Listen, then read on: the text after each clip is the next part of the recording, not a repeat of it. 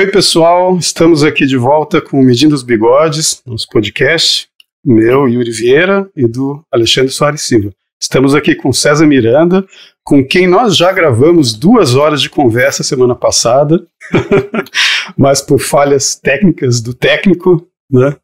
E não, não gravou o áudio. Agora nós vamos tentar aqui é, estabelecer uma, uma nova conversa, talvez dentro dos mesmos assuntos, né? Vamos lá, né? Mas a gente está falando aqui sobre recuperar. A gente gravou a imagem, né, do, do, último, do último podcast e não tem som. O César está falando aqui que de repente os chineses aí inventam um programa que faz a leitura labial já dubla todo mundo, né? É, é, porque, olha só, eles têm, eu vi essa semana eles derrubando uns portes de, de 5G que, que, que faz reconhecimento facial.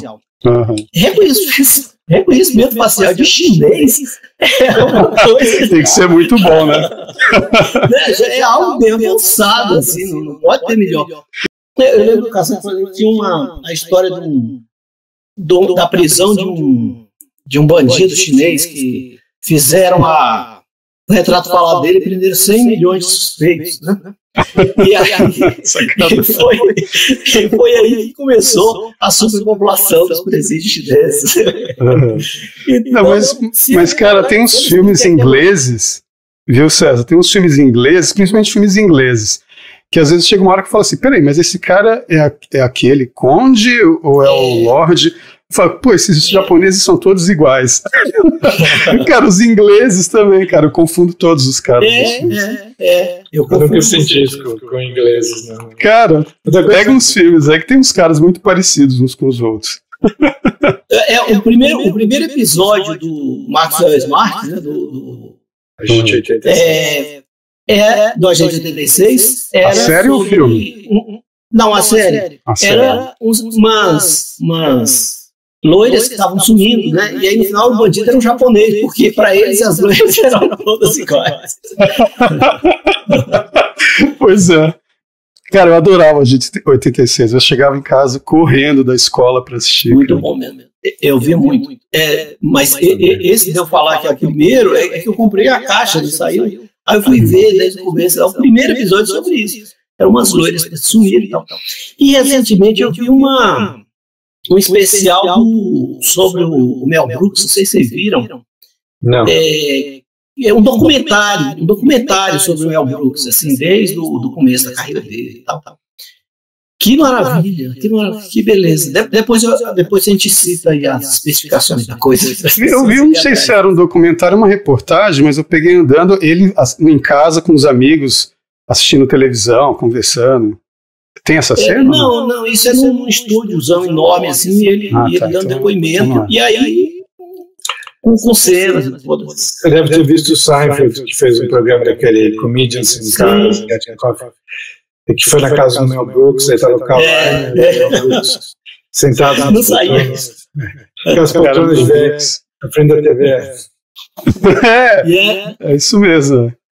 E ele, sempre com aquele outro cineasta lá, como é? Meu nome? Carl é pai do outro cineasta. Hã? Carl Reiner. Isso, Carl Reiner, exatamente. E, e aí eles, na, na saída, é, ele, o, o Mel Brooks foi levar o Seinfeld na porta e, e continuaram, e não, e, e não saía, né? ele continuava ali conversando. Aí ele foi dizer a diferença entre a saída francesa e a saída a judia. Né? Você se, na, na, francesa você não se despede e vai embora. Na judia você se despede e não vai embora. Continua. É meio brasileira, né? É, Nossa, é meio brasileiro. Mas, mas também você está ali com o Mel Brooks, né? O, o, o, o Seinfeld disse que o Mel Brooks é como Jesus Cristo para ele. Então. Eu falo na saída, na saída do Mahler, a saída da Mahler. O Fábio Danese que me contou isso, que o Mahler parou para conversar com alguém na rua e a conversa não terminava mais. E uma hora passou um bonde e o Mahler simplesmente, enquanto o cara falava, se jogou no bonde. Aí foi aí que ele teve a ideia do, do, do último movimento da terceira sinfonia. Né? tipo, ah, que alívio, né? ah, é. É, porque tem umas despedidas dessas mesmo, que, que não acabam nunca, né? E dá pra fazer um monte de sketch em cima disso. Né? Cara, e o Mel Brooks. Aí entra outro assunto e tal. O Mel Brooks era casado com aquela atriz do A Primeira Noite de um Homem, né? É, The Graduate. E, é, e ela é uma, uma, uma figura desse documentário, né? Que ele fala assim, com muita tristeza que ela foi embora muito cedo, né? Uhum. E ficaram até o fim da vida dela mesmo, né? Tiveram filhos e tudo, né? E ela falava dele assim com, com paixão. O filho dele escreveu um romance de, de terror sobre zumbis que fizeram aquele filme, né? World War Z, com Brad Ah, é? Pitt. Sei. É o filho do Mel Brooks? É. Sabia, né? Eu acho que eu fui assistir esse filme sem saber do que se tratava, porque eu nunca me importei com esse negócio de zumbi. Também não. É, eu, eu, eu, eu assisti quando aqueles filmes, aqueles primeiros lá, ah, dos mortos-vivos, nos anos 80, e, e eu tentei ver essa série aí também que tem, que eu já até esqueci o nome, Wa- Walking Dead, né? Mas eu não. É a eu, boca, também não vi. eu vi uma, uma temporada, se eu não me engano, eu falei, ah, não, chega. Não, e, e essa, e essa série fez um sucesso enorme, né? Sim, muito grande. E Teve muita temporada. É, porque é uma, é uma Teve questão que de era- sobrevivência, né? Aquele negócio de sobreviver em meio ao, ao caos, né? Vira isso, né? Aham. Que é interessante, tal, mas a, a história do zumbi é meio difícil de encaixar né? É, na suspensão de descrença aqui. é, exatamente. É, o Porque zumbi é tem que comer cérebro, eles não comem cérebros, parece. Essa conversa Não, tem nada a ver com o podcast que a gente já gravou, né? Não, não, A gente começou falando sobre Ah. Santos no outro. É verdade. Eu zumbis, não né? ia. O terceiro vai ser sobre o que? Sobre a Anitta, a queda. Tô longe. O terceiro, se esse aqui não funcionar também. né? Isso é pra provar que a gente não tá tentando repetir a dose. É, por exemplo, piada do urso, né? Você não vem aqui pra caçar urso, coisa nenhuma. Cara, ontem eu vi um filme de Bang Bang que eu fiquei chocado. Eu falei, nossa, fizeram um filme bom, mas foi é dinamarque, é, feito por dinamarqueses, né? Que ele é a salvação na Netflix. É Faroeste dos Estados Unidos? Faroeste. Filmado na África do Sul, dirigido por dinamarquês e com o Mads Mikkelsen, né? Que é dinamarquês também no personagem principal. Muito bom, cara. É, é um filme de Bang Bang é a, a moda antiga mesmo. Mas Muito a bom. história se passa nos Estados Unidos. É, nos Estados Unidos, Velho Oeste, É, eles filmaram na África do Sul. Pegaram uma paisagem Por lá que eles parecida. podem? Por que, que italiano pode fazer isso? É, exatamente. Por que, que a gente, se fosse fazer isso, ia ser ridículo? Né? Mas você sabe que o Glauber Rocha, o que ele quis fazer era isso, né? Quando ele fez aquele Deus e o Diabo na Terra do Sol, aquelas coisas todas, né? Tem história de um autor, acho que é do Corisco. Não, e eu ele ouvi fazer um Bang que- Bang, né? Que aquele caminho pro oeste que os americanos fizeram durou menos tempo que o cangaço aqui no Brasil. Dava para ter feito muito mais filme de cangaceiro. É, mas o- a gente tem dinheiro para ficar fazendo esse tanto de filme também. É, esse que é o problema. né? A gente tem história de cangaceiro e de bandeirante ainda, né? É, Bandeirante, daria, daria coisa boa. Parece que, o- parece que o, o, Alexandre vai fazer um roteiro de bandeirante, não é isso que você falou? É um documentário. né? Ah, é documentário. Estamos fazendo um documentário sobre bandeirantes. Que era legal Ah, fazer, legal. Um, fazer uma ficção, cara. Ficção penetra bem, assim, na. É, consciente das a, a coisas. muralha, né, que era mais ou menos. Ah, Você lembra? Era uma, uma minissérie. eu, vi, eu, eu não vi inteira, não. Eu vi alguns episódios. Só que tinha o, É. o Tarcísio Meira, né? Tarcísio Meira, exatamente. é. Fazia um, um, sei lá, um inquisidor, né? Era um negócio meio... Eu acho que nessa época eu não tinha televisão, cara. eu não cheguei a ver. eu... É, eu morava em Goiânia. É, é, eu acho. né? Não lembro que ano foi isso também, né? Foi 90, né? Mas tem muita história, porque assim, eles vão entrando, né, para dentro de São Paulo. Inclusive São Paulo já é para dentro, né? Porque Sim. resolveram fazer a, a capital ali para não, pra não ter invasão, essas coisas. Uhum. E aí vão indo mais até chegarem no, no Mato Grosso, né? Que aí vira acharem rios, né? vira as monções e tudo. Inclusive a capital do Mato Grosso era, era ouro, ouro, igualzinho Minas, né? Uhum. É, há muito, há muito que se contar disso aí.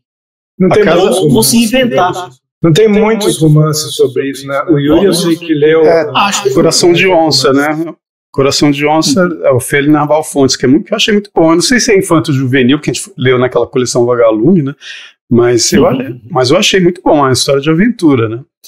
Pode, Pode ter muitos goianos que escreveram sobre isso, a gente, a gente não leu ainda, eu não li, pelo menos, né? É, Tem um conto do Machado de Assis, mas não é, não, é, não é disso, né? Do Machado de Assis é. Eu acho que a primeira, a primeira história que mostra Goiás talvez seja esse, um conto do Machado de Assis, em que um, um, cara vai estudar, não sei se direito ou medicina em Paris, acho que medicina.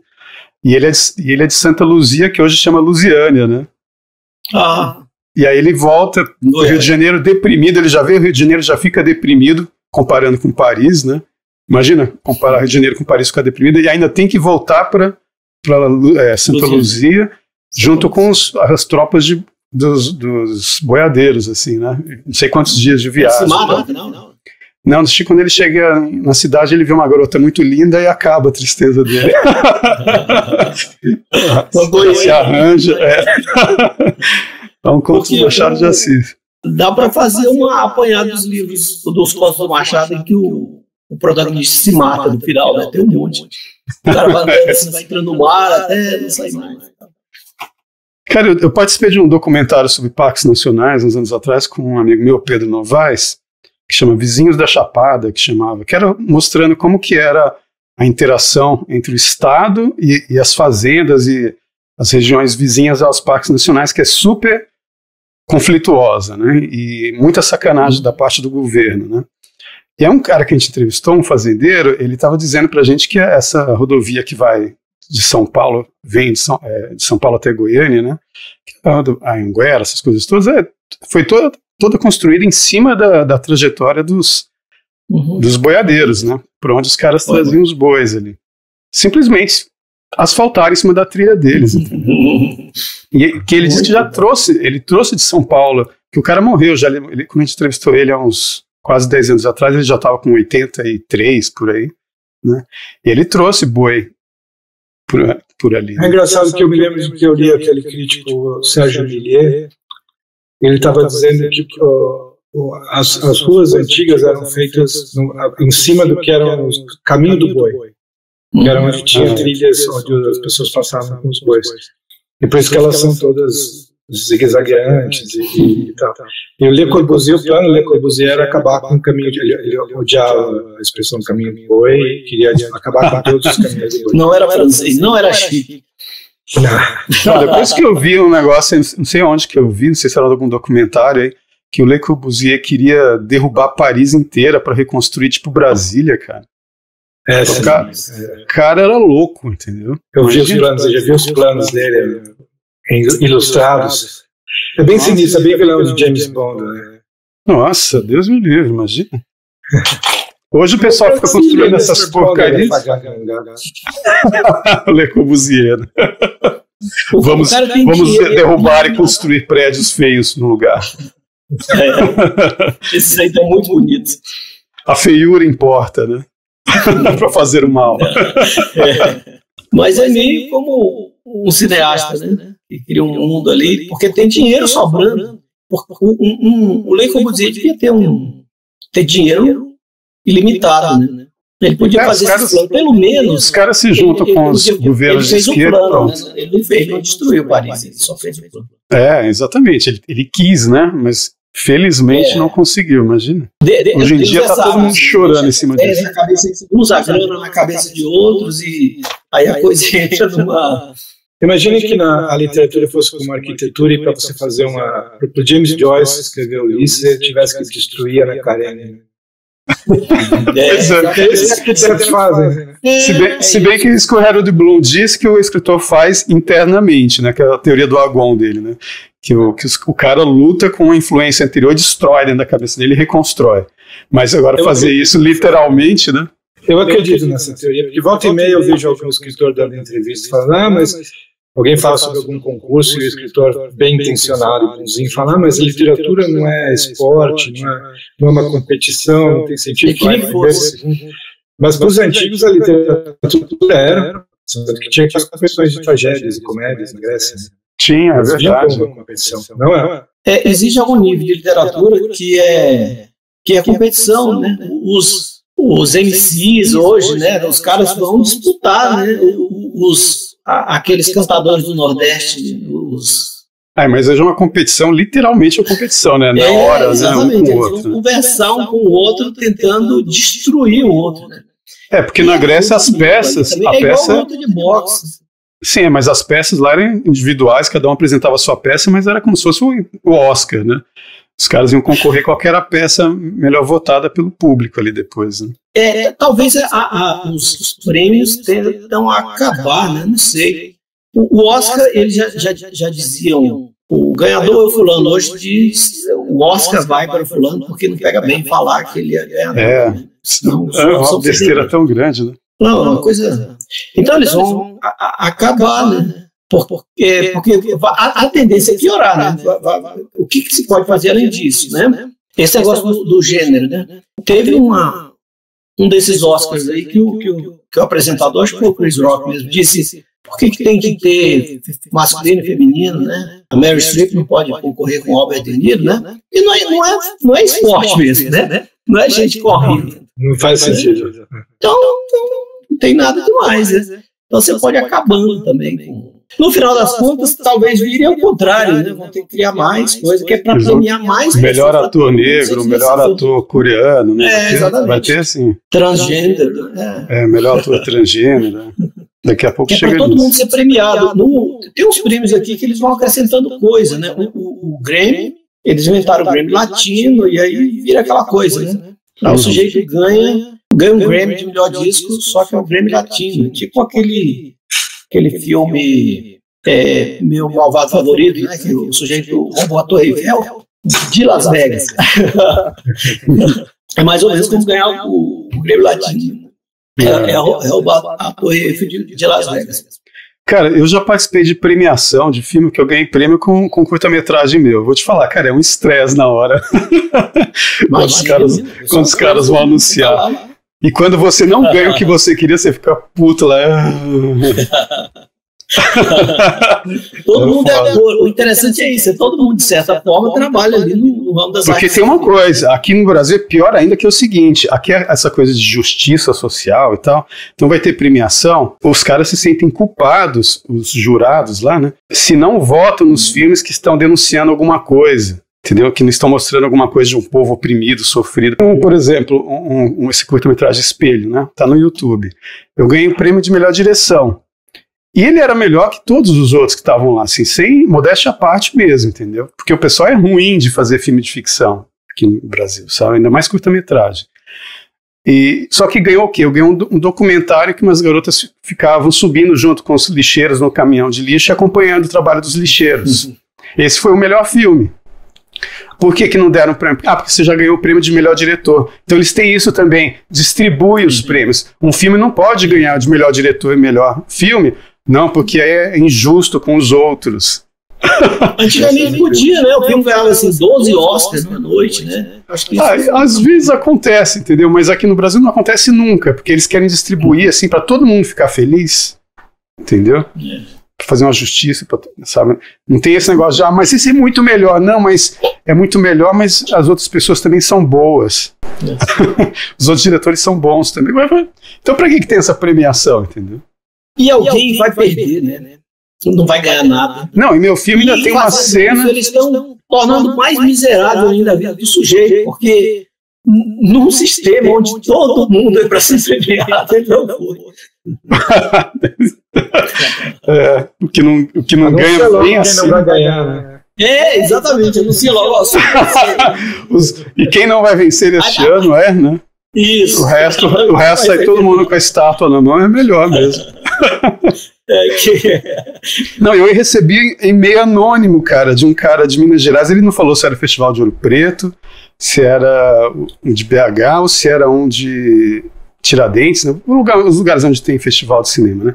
O cara dizendo que ele era curador lá, que eles não queriam aceitar meu filme, porque meu filme tinha uma cena que meu filme é o pessoal assistindo um, é uma, um, um filme mesmo, né? É a plateia de cinema. E aí, uma hora, o cara é, vira e reclama para a namorada dele: Nossa, que porcaria de filme, né? Aposto que foi feito com dinheiro público. Entendeu? Aí o cara que falou para mim, corta essa cena, senão seu filme não vai ser aceito nos outros festivais por aí, nem aqui, entendeu? E realmente foi difícil, assim, um monte de gente rejeitou o filme por causa dessa cena. E, e filme brasileiro não tem quase nem, não tem sido feito, né? Com dinheiro é. Acho que não. Isso é, isso é uma questão muito difícil. Porque é caro, né? Você, você vai é. atrás do governo, me ajude aqui. A melhor coisa que um cineasta devia, é, é, devia fazer hoje é comprar uma máquina do tempo, voltar em 2010 e comprar Bitcoin.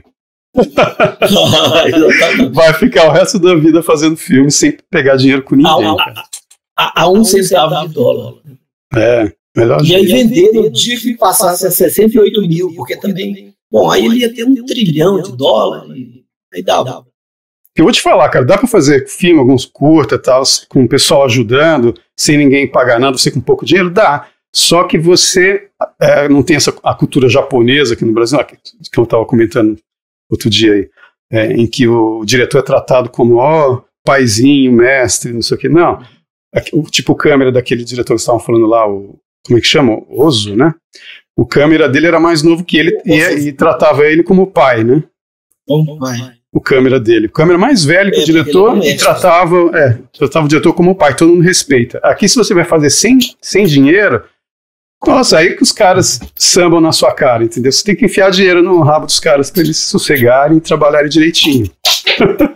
Senão é cada coisa que acontece, cara. Por isso que o cinema publicitário em São Paulo, durante os anos 80 e 90, foi super bem sucedido, porque tinha muita grana envolvida, e aí muita gente boa trabalhando, e eu trabalhei lá na, na Adrenalina e na Croma, em São Paulo. Nossa, cara, é punk, viu? Trabalhar em produtora de cinema publicitário. Os caras são. Eu acho que esses, os diretores brasileiros, nas horas, quando estão fazendo filme, estão trabalhando em publicidade, né? Eu acho que quase todos. Ganha muito dinheiro, né? Dirigindo. É, ganha dinheiro. Não, e tem coisa, tem coisa até pior do que isso. Por exemplo, eu trabalhei em produtora, depois de ganhar prêmio, aqui você ganha prêmio, aí o que, que, você faz? Você vai fazer um longa-metragem? Não, agora você vai trabalhar fazendo vi, vídeo institucional para a empresa. Aí a gente filmou a construção de uma usina, como é que chama aquilo? É um lugar de, onde eles derretem minério de ferro, lá em Barro Alto. A gente ia filmar a construção é, da, desse forno elétrico, né, um forno elétrico que chama. Os caras uhum. construíram uma hidrelétrica só para alimentar o forno elétrico, gigante. Como que você derrete minério de ferro? Você joga o minério de ferro lá dentro e passa uma corrente elétrica gigante, como se fosse uma resistência gigante, entendeu? Derrete o ferro. Então a gente ia a gente filmou isso. Aí tinha, aí tinha uma, uma como chama? Uma competição, aí sei lá como chama, para poder filmar um negócio desse em Minas, a gente perdeu para quem? Pro pai do diretor. Do, é, a concorrência. Pro pai do diretor, do, do diretor de fotografia do Tropa de Elite. Entendeu? Que é o cara que fez o, o, o Cida, é, Central do Brasil. O diretor de fotografia do Central do Brasil ganhou da gente uma concorrência para filmar uma obra. O cara, o cara devia estar tá fazendo filmes de ganhar Oscar. É, não era preocupado com isso. É uma, uma sacanagem, cara. O Rubem Fonseca, ele queria fazer cinema, né? Ele fez curso de cinema nos Estados Unidos. Chegou aqui e viu que dá, ah, é? é? melhor, é melhor escrever livro mesmo. Os, os contos dele são bem, assim, experimentais, umas coisas diferentonas, mas os romances dele você vê que é como se fosse um, um filme bem dirigido, entendeu? É. Que desespero para a coisa mais viável econômica comercialmente para você fazer escrever um livro. é muito azar, né? Cara. Porque eu estava pensando nisso, será que ele. Os livros dele vendiam muito? Assim, eu acho que teve um ou dois. Qual, Rubem Fonseca? É. Teve uma época que vendeu muito, nos anos 90, é, 80 e 90. Muito, é. Mas eu gosto é, do Rubem Fonseca, eu acho ele muito bom. É o mercado, né? Eu já li alguns contos pequenos dele, só nos romances. Eu lembrei, você falou Eu li uns, eu li uns 15 livros dele. Né? Eu escrevi, um, eu escrevi um texto na revista Bravo uma vez inteira só falando mal do Rubem Fonseca. É. eu tenho um conto seu que o personagem fala mal do Rubem Fonseca também. No meio gratuitamente. Né? É, mas eu gosto, entendeu? Eu acho legal. Não, o estilão. Principalmente a, as mudanças que ele faz de um conto para o outro, tem mudança de estilo, assim, de ele, ele, experimenta muito, entendeu? Você contou um conto da outra vez dele, né, que o pessoal vai aparece é. um urto lá na praia. É. Conta o resto. É, e depois todo mundo arma as, como fala, os, os guarda-sóis em volta do corpo. O cara morreu durante a noite, como foi? É, amanheceu morto lá na praia, ninguém sabe como foi, né? E aí o pessoal arma os guarda-sóis em volta, ficam lá assim, to, tomando sol na praia, curtindo com as crianças, com as famílias e tal, e o cara morto. Aí chega depois o, o, o rabecão lá, chega a, é, o IML, a polícia, retira o corpo, aí chega uma família, ninguém quer, quer ficar ali porque tinha um corpo na areia, né? É, né? Mas aí chega até aquele espaço vazio, né? Aí chega aquela clareira, aí chega a família, nossa, guardaram lugar pra gente, mete o guarda-sol bem no lugar onde o cara estava morto, todo mundo, as crianças começam a brincar na areia e acaba, acaba o conto, é só isso. Né? É bem conto de carioca, mesmo, se bem que ele é mineiro, né? Mas é bem carioca esse conto. Ele é mineiro, né? Ele é muito carioca. Juiz de fora, né? É, foi novo, né, pro Rio, né?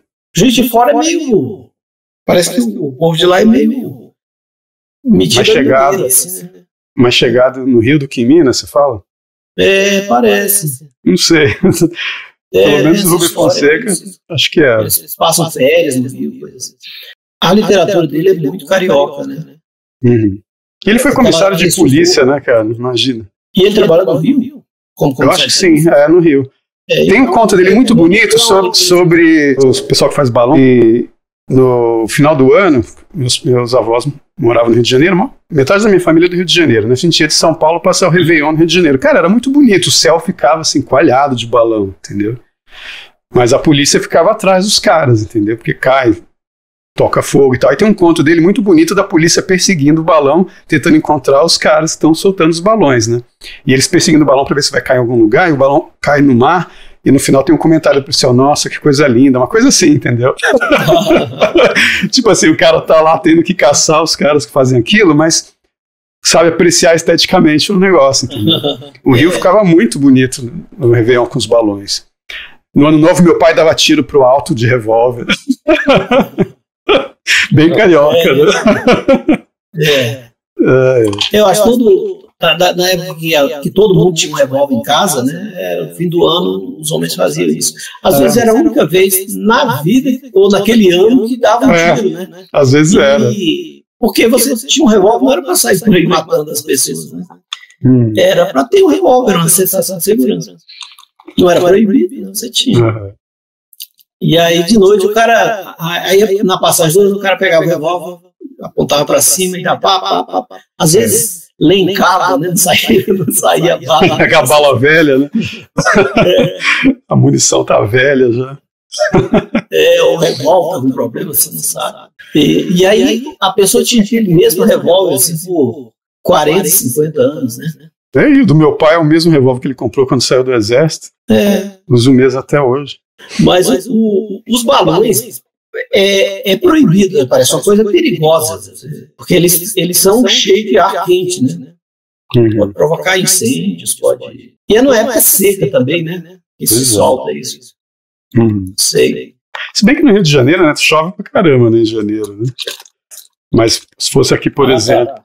por exemplo, aqui em Goiás, uma vez, um amigo do meu pai, que era lá da Vale, veio para a fazenda da minha avó com a gente e resolveu fazer um balão, para ele saber fazer balão. Ainda bem que o balão pegou fogo na saída, né? Porque imagina em julho soltar balão em Goiás.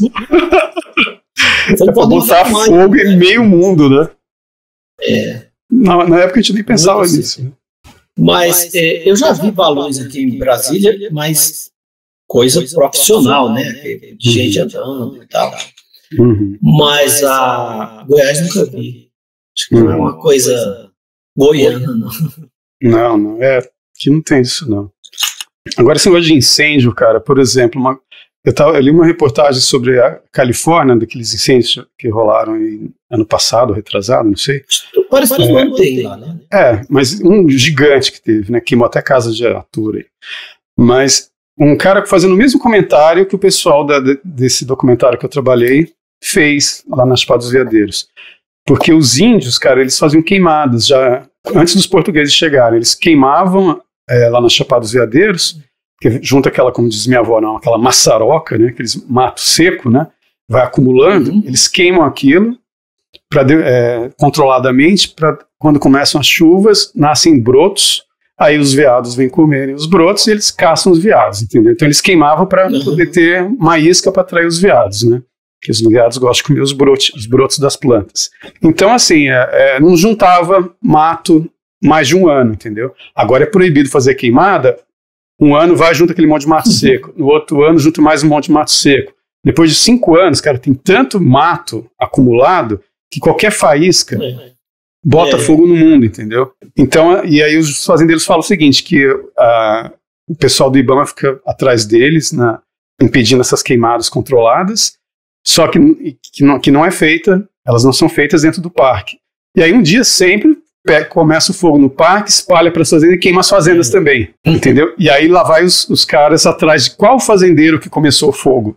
É. Sendo que começou no parque porque lá ninguém controla, sabe, não faz é. fogo controlado, porque os índios faziam isso já, entendeu? Só que o pessoal não considera o ser humano uma coisa à parte, né, é, da natureza, então ah, não pode fazer nada na natureza, é, a natureza não aceita. Sendo que os índios estão há mais de 50 mil anos que eles partiram do estreito de Bering para cá, entendeu? Estão aí interagindo faz tempo, o negócio, a região está acostumada com isso, mas não, agora.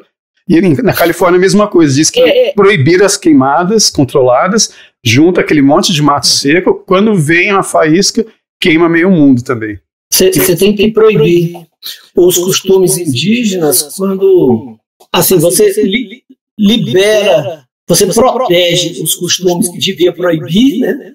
e proíbe os que devia liberar, os que devia é. proteger. Porque... Não, o cara que a gente entrevistou lá, ele, o fazendeiro falou o seguinte: não, esses caras ecólogos, ambientalistas que vêm aqui, eles só sabem plantar maconha. eles nunca plantaram um pé de nada, entendeu? Então, assim, eles não entendem desse negócio de, de natureza, de fazenda, de parque nacional, não, eles querem, eles atrapalham tudo. E o artigo que eu li sobre a Califórnia é a mesma coisa, foram os ambientalistas que tornar os incêndios mais perigosos. É Nossa, onde a gente chegou, né? É bastante cu cultural isso. É, totalmente. Vocês já viram quadros? Parece que era um gênero tradicional de pintura brasileira antigamente, era, era incêndio na floresta. Né? É, era um tema de pintura? Que é bonito, né? É bonito, é, dá pra Queimada na floresta. Na minha infância tinha muito queimada, que era aqueles meninos jogando bola, né? Pra acertar o outro, era das queimadas. Agora, tinha queimada. Isso jogava também. tinha queimada na, na, na floresta, porque eu cresci na Amazônia. É, é divisa entre é, Cerrado e, e Amazônia. Aí, aí o sul do Pará é, é um estágio assim, meio entre, entre o final do Cerrado e o começo da Amazônia. Né? Uhum. Então a gente tinha as duas coisas ali. Os dois biomas. Né? Aquelas árvores retorcidas, a piqui, essas coisas ainda que tem, que tem em Goiás, mas já começando a, a floresta amazônica. Então, com necessidade de queimadas. Todo ano tem queimada controlada, né? Para as uhum. pessoas plantarem e tudo, né? A gente sabe o que está fazendo. Uhum. E, e todo ano tem aquilo. Então, todo ano também o, os protetores da floresta se preparam para dizer que estão queimando a floresta. Não, todo ano acontece aqui. Uhum. Aí você vai, você vai de avião de, dali para Belém, sei lá, mais de mil quilômetros, e você pode não ver uma, uma clareira embaixo, é floresta o tempo inteiro, sabe? É, então, eu li um artigo de um engenheiro agrônomo, já tem uns anos, que ele fala o seguinte, que o pessoal acha que a região amazônica é úmida porque tem floresta. Ele fala, não, Lá tem floresta ah, é. porque é úmido. Porque é úmido. Que ele fala é úmido por causa das correntes marítimas. É a posição uhum. próximo ao Equador e as correntes marítimas que jogam umidade lá. Então ali sempre vai ser úmido, com floresta não. E sendo úmido, a floresta sempre vai crescer. E aí eu acho que, não sei se é esse mesmo, mesmo texto que ele comenta o seguinte: quando os portugueses chegaram nas costas do Brasil e passaram varíola, trocaram, né? Deram varíola, ó, toma a minha varíola, deixa eu ficar com a sua sífilis. Foi assim, né? deu, passaram a varíola para os índios, os índios deram a sífilis em troca, né, que eles levaram para a Europa para entregar para o Nietzsche. Enfim, mas. Um, um pouco de um pouco de atraso, mas chegou lá. Então, mas a varíola foi, foi espalhando pelos índios até chegar na região amazônica, onde os portugueses não tinham chegado ainda, e morreu aquele monte de índio. E nessa época, na Amazônia, ela era tão desmatada que tinha um monte de geoglifos, né?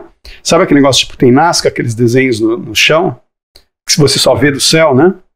Na Amazônia tem, cara. No Acre, no Acre, você, os caras estão derrubando a floresta e estão encontrando os geoglifos dos índios, entendeu? E para construir aquilo, para fazer aquilo, você tem que estar tá com a mata toda derrubada. Entendeu? Então o pessoal fala, ah, mata virgem tal, mas esse geoglifo gigante que só vê do céu. Porque os índios tinham derrubado a mata. Mas como que ela cresceu? Porque eles morreram de varíola. Então, assim, os índios, quando os portugueses chegaram lá, já tinha passado 100 anos, a, a mata já tinha crescido de novo. Então, o que esse cara fala é o seguinte: para a Amazônia não ser destruída, o que, que é? É só você parar. Parou 100 anos, cresce de novo. Até a terra que, que eu herdei aí, que, é da, que era do meu bisavô, ah, chega, lá, chega lá o pessoal do Ibama, ah, isso aqui é só, agora é a reserva legal da fazenda, não pode derrubar, é mata natural, autóctone, blá. cara, isso não é mata, uhum. é sim, cara, era plantação de café do meu bisavô, entendeu? Uhum. Ali era tudo derrubado, era uma plantação de café enorme. Aí o que aconteceu? Acabou a plantação de café, meu, meu bisavô morreu, dividiu com os filhos, que a, meu avô dividiu com os filhos dele também, cada um ficou com seu pedacinho. E agora tem uma floresta lá, mas onde é a floresta era uma plantação de café. A floresta apareceu uhum. em menos de 50 anos. Entendeu? A Amazônia é a mesma coisa. Se aqui que é seco acontece isso, imagina na Amazônia. É, Aí fica essa é, choradeira, tem cara. Tem aquele documentário do, do Sebastião Salgado, né? Não sei se você viu, O Sal da Terra, que ele recupera um, um espaço lá enorme, eu acho que lá em, em poucas décadas, né? O, o negócio era seco, seco, um espaço enorme, só de terra, de pedra, que ele plantou e pronto. Hoje não é mais. Uhum. A, a, natureza trabalha muito rapidamente. E, o, e, e Belém, Belém chove todo dia, né? Uhum. Você vai lá, você, você vê isso, é impressionante, todo dia mesmo.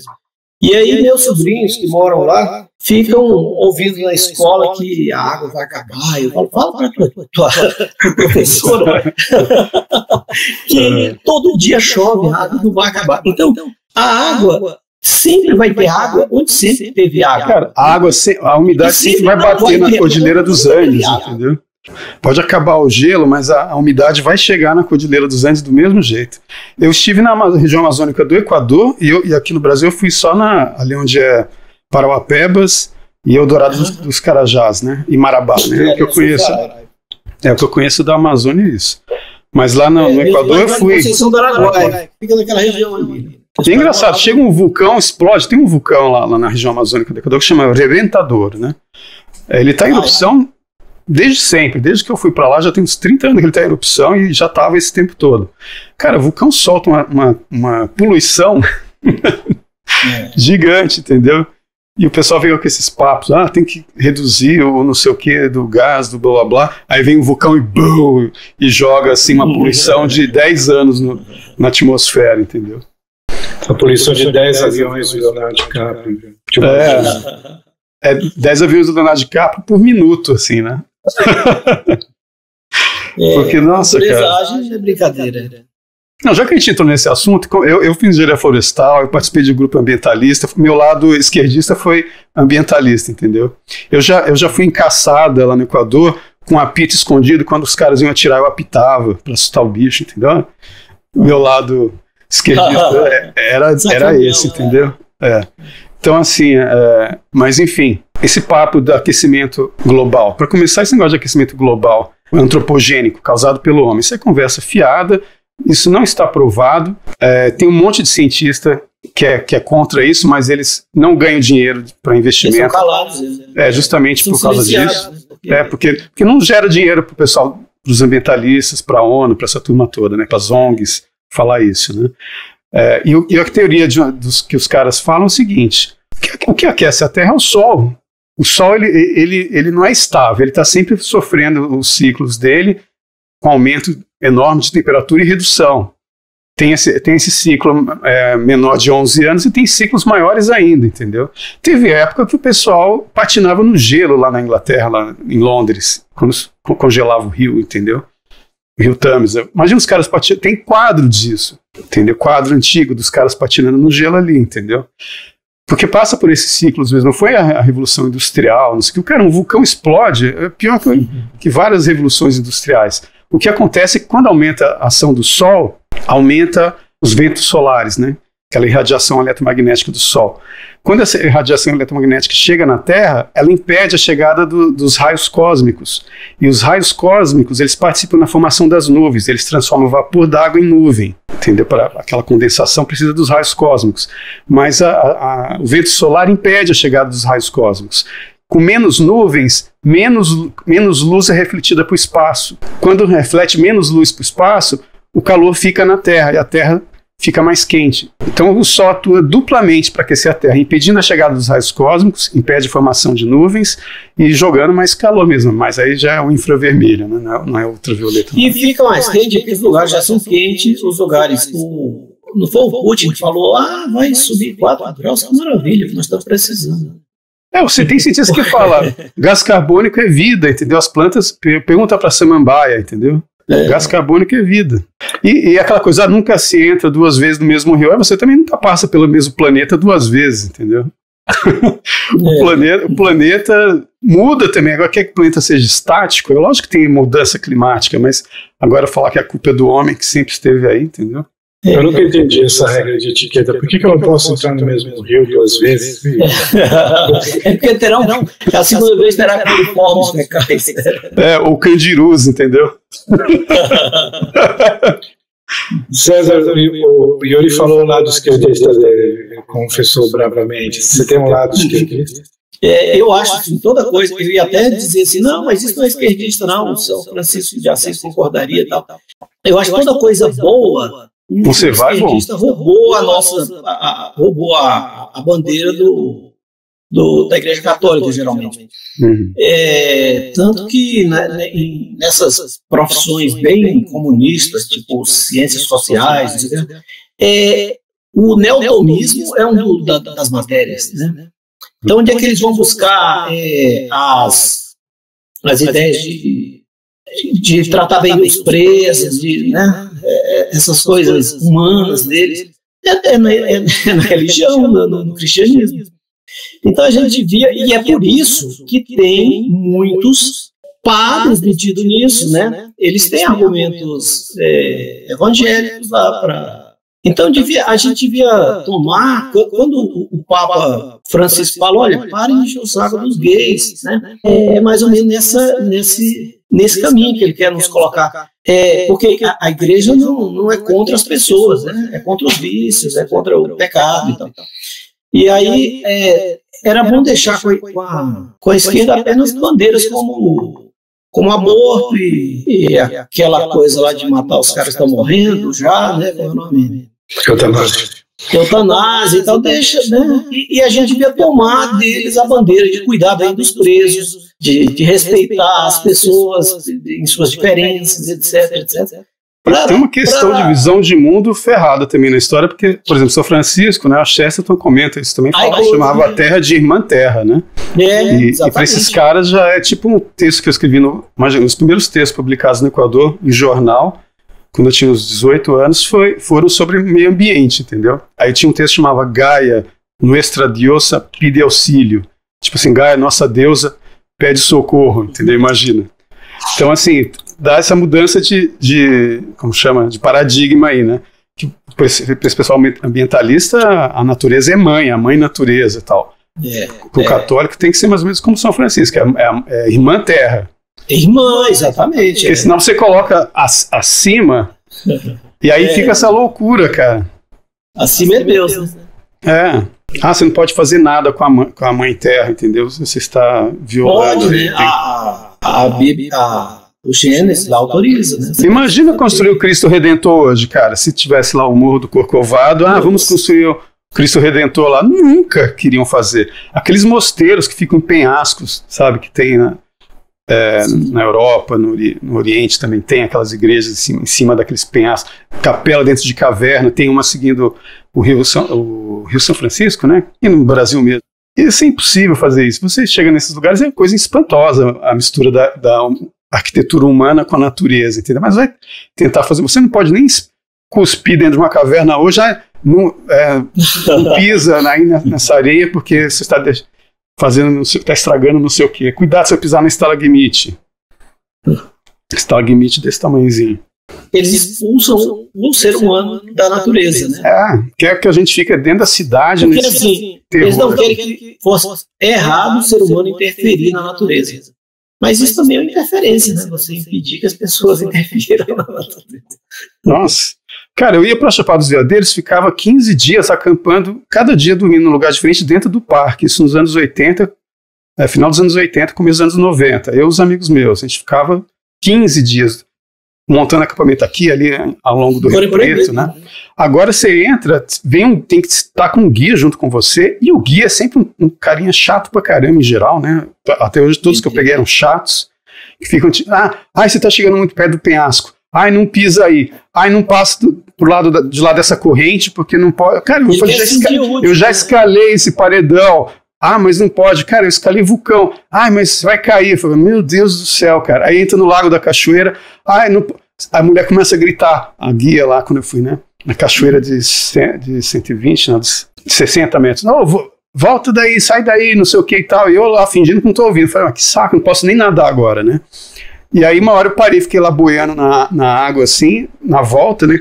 Ela falou, mas por que, que você ficou boiando lá? As pessoas, você pode ter uma cãibra. Eu falei, eu estava boiando porque eu estava com uma cãibra. Ela regalou o olho desse tamanho. E você não afogou? Eu falei, nossa, ué, mas coisa mais normal do mundo é você ter uma cãibra nadando, depois de andar desse jeito. A trilha enorme, se quente, entra na água gelada, né? eu falei, eu tive uma câimbra, boy, espera a cãibra, a cãibra passar tal, né? Mas não, tão, estão acostumados com gente criada dentro da cidade ali, que não faz porra nenhuma e, e, e, são cada vez mais obrigados a fazer só isso, aí fica acompanhando esse pessoal e depois fica enchendo o saco de quem já, já fez mil trilhas e coisas por aí, entendeu? É. Eu acho um saco hoje em dia. É, podiam colocar nas matérias das crianças e ir para o meio do mato, né? Assim, um dia que é para conhecer o mato, conhecer as águas, os rios. Para a criança não crescer sem nunca ter visto um bicho, né? Não, tem moleque em São Paulo que nunca viu uma galinha, que nunca viu uma vaca, entendeu? É, é. É impressionante. Quanto mais o resto é. dos bichos, coati, macaco, como tem na fazenda. é. Ver um bicho desse nunca, entendeu? E ver é, é, matar a galinha, né? Minha mãe Sim, né, minha avó tirava, cortava com requinte de crueldade, saía aquele monte de sangue ali. E depois ia comer o sangue também, né? eu nossa, eu tenho as lembranças sangrentas dessas de matar o porco, botar na, na gamela é, cheio de sal, aquela salmoura, né? Sal, aí fica aquele sal com sangue, você enfia o dedo no, no sangue, salgado. Hum.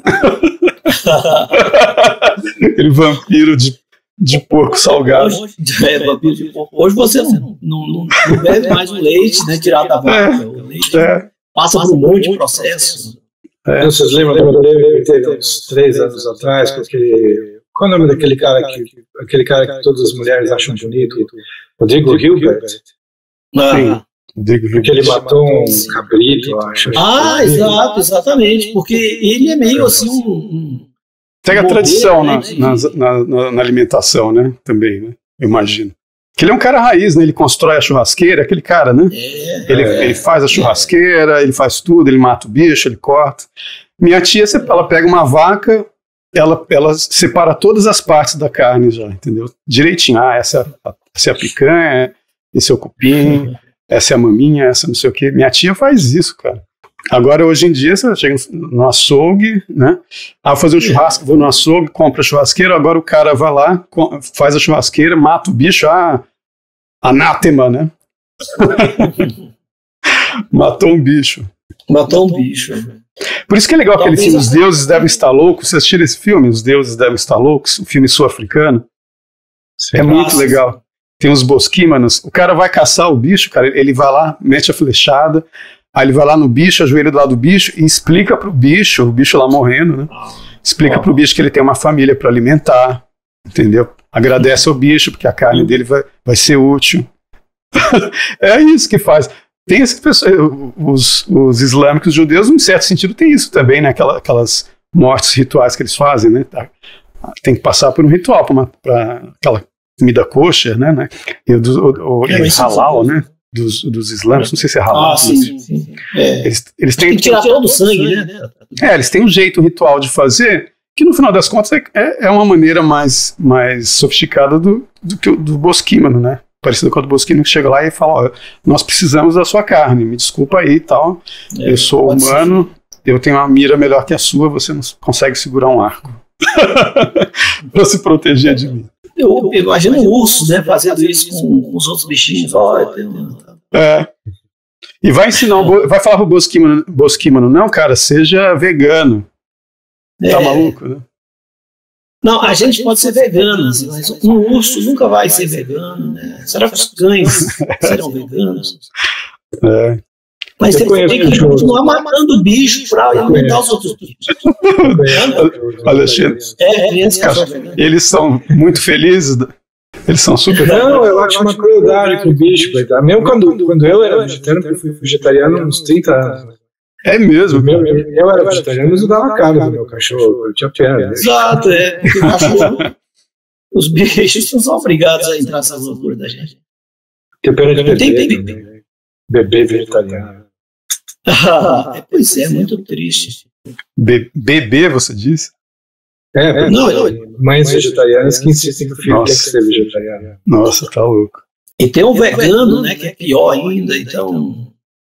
Né, o Mas leite isso da é sendo empurrado. não pode, porque o leite é, é, é um produto animal. Isso está sendo muito empurrado. Eu não sei se vocês veem esses programas de culinária, assim, Masterchef, Hell's Kitchen. Todo programa de culinária, de reality show, são os chefes, porque chefe, por algum motivo, pessoas que trabalham com gastronomia são muito esquerdistas, né? É um, é um ambiente É. bem dominado Não dá para pelas entender. modas da esquerda.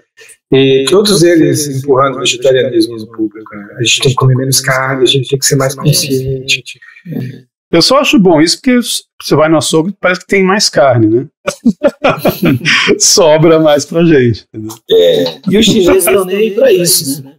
Não, e tem uns animais, cara, que se você não para, se você para, por exemplo, de matar a vaca, ah, não vamos mais matar a vaca, não sei o quê. Cara, tem bicho que, que entrou em extinção porque o, o ser humano parou de comer, entendeu? Sim. Não, todo bicho que entrou em extinção é porque ele não era gostoso. É, Então, assim, a- era as aranhas, os escorpiões têm que agradecer aos chineses. Né?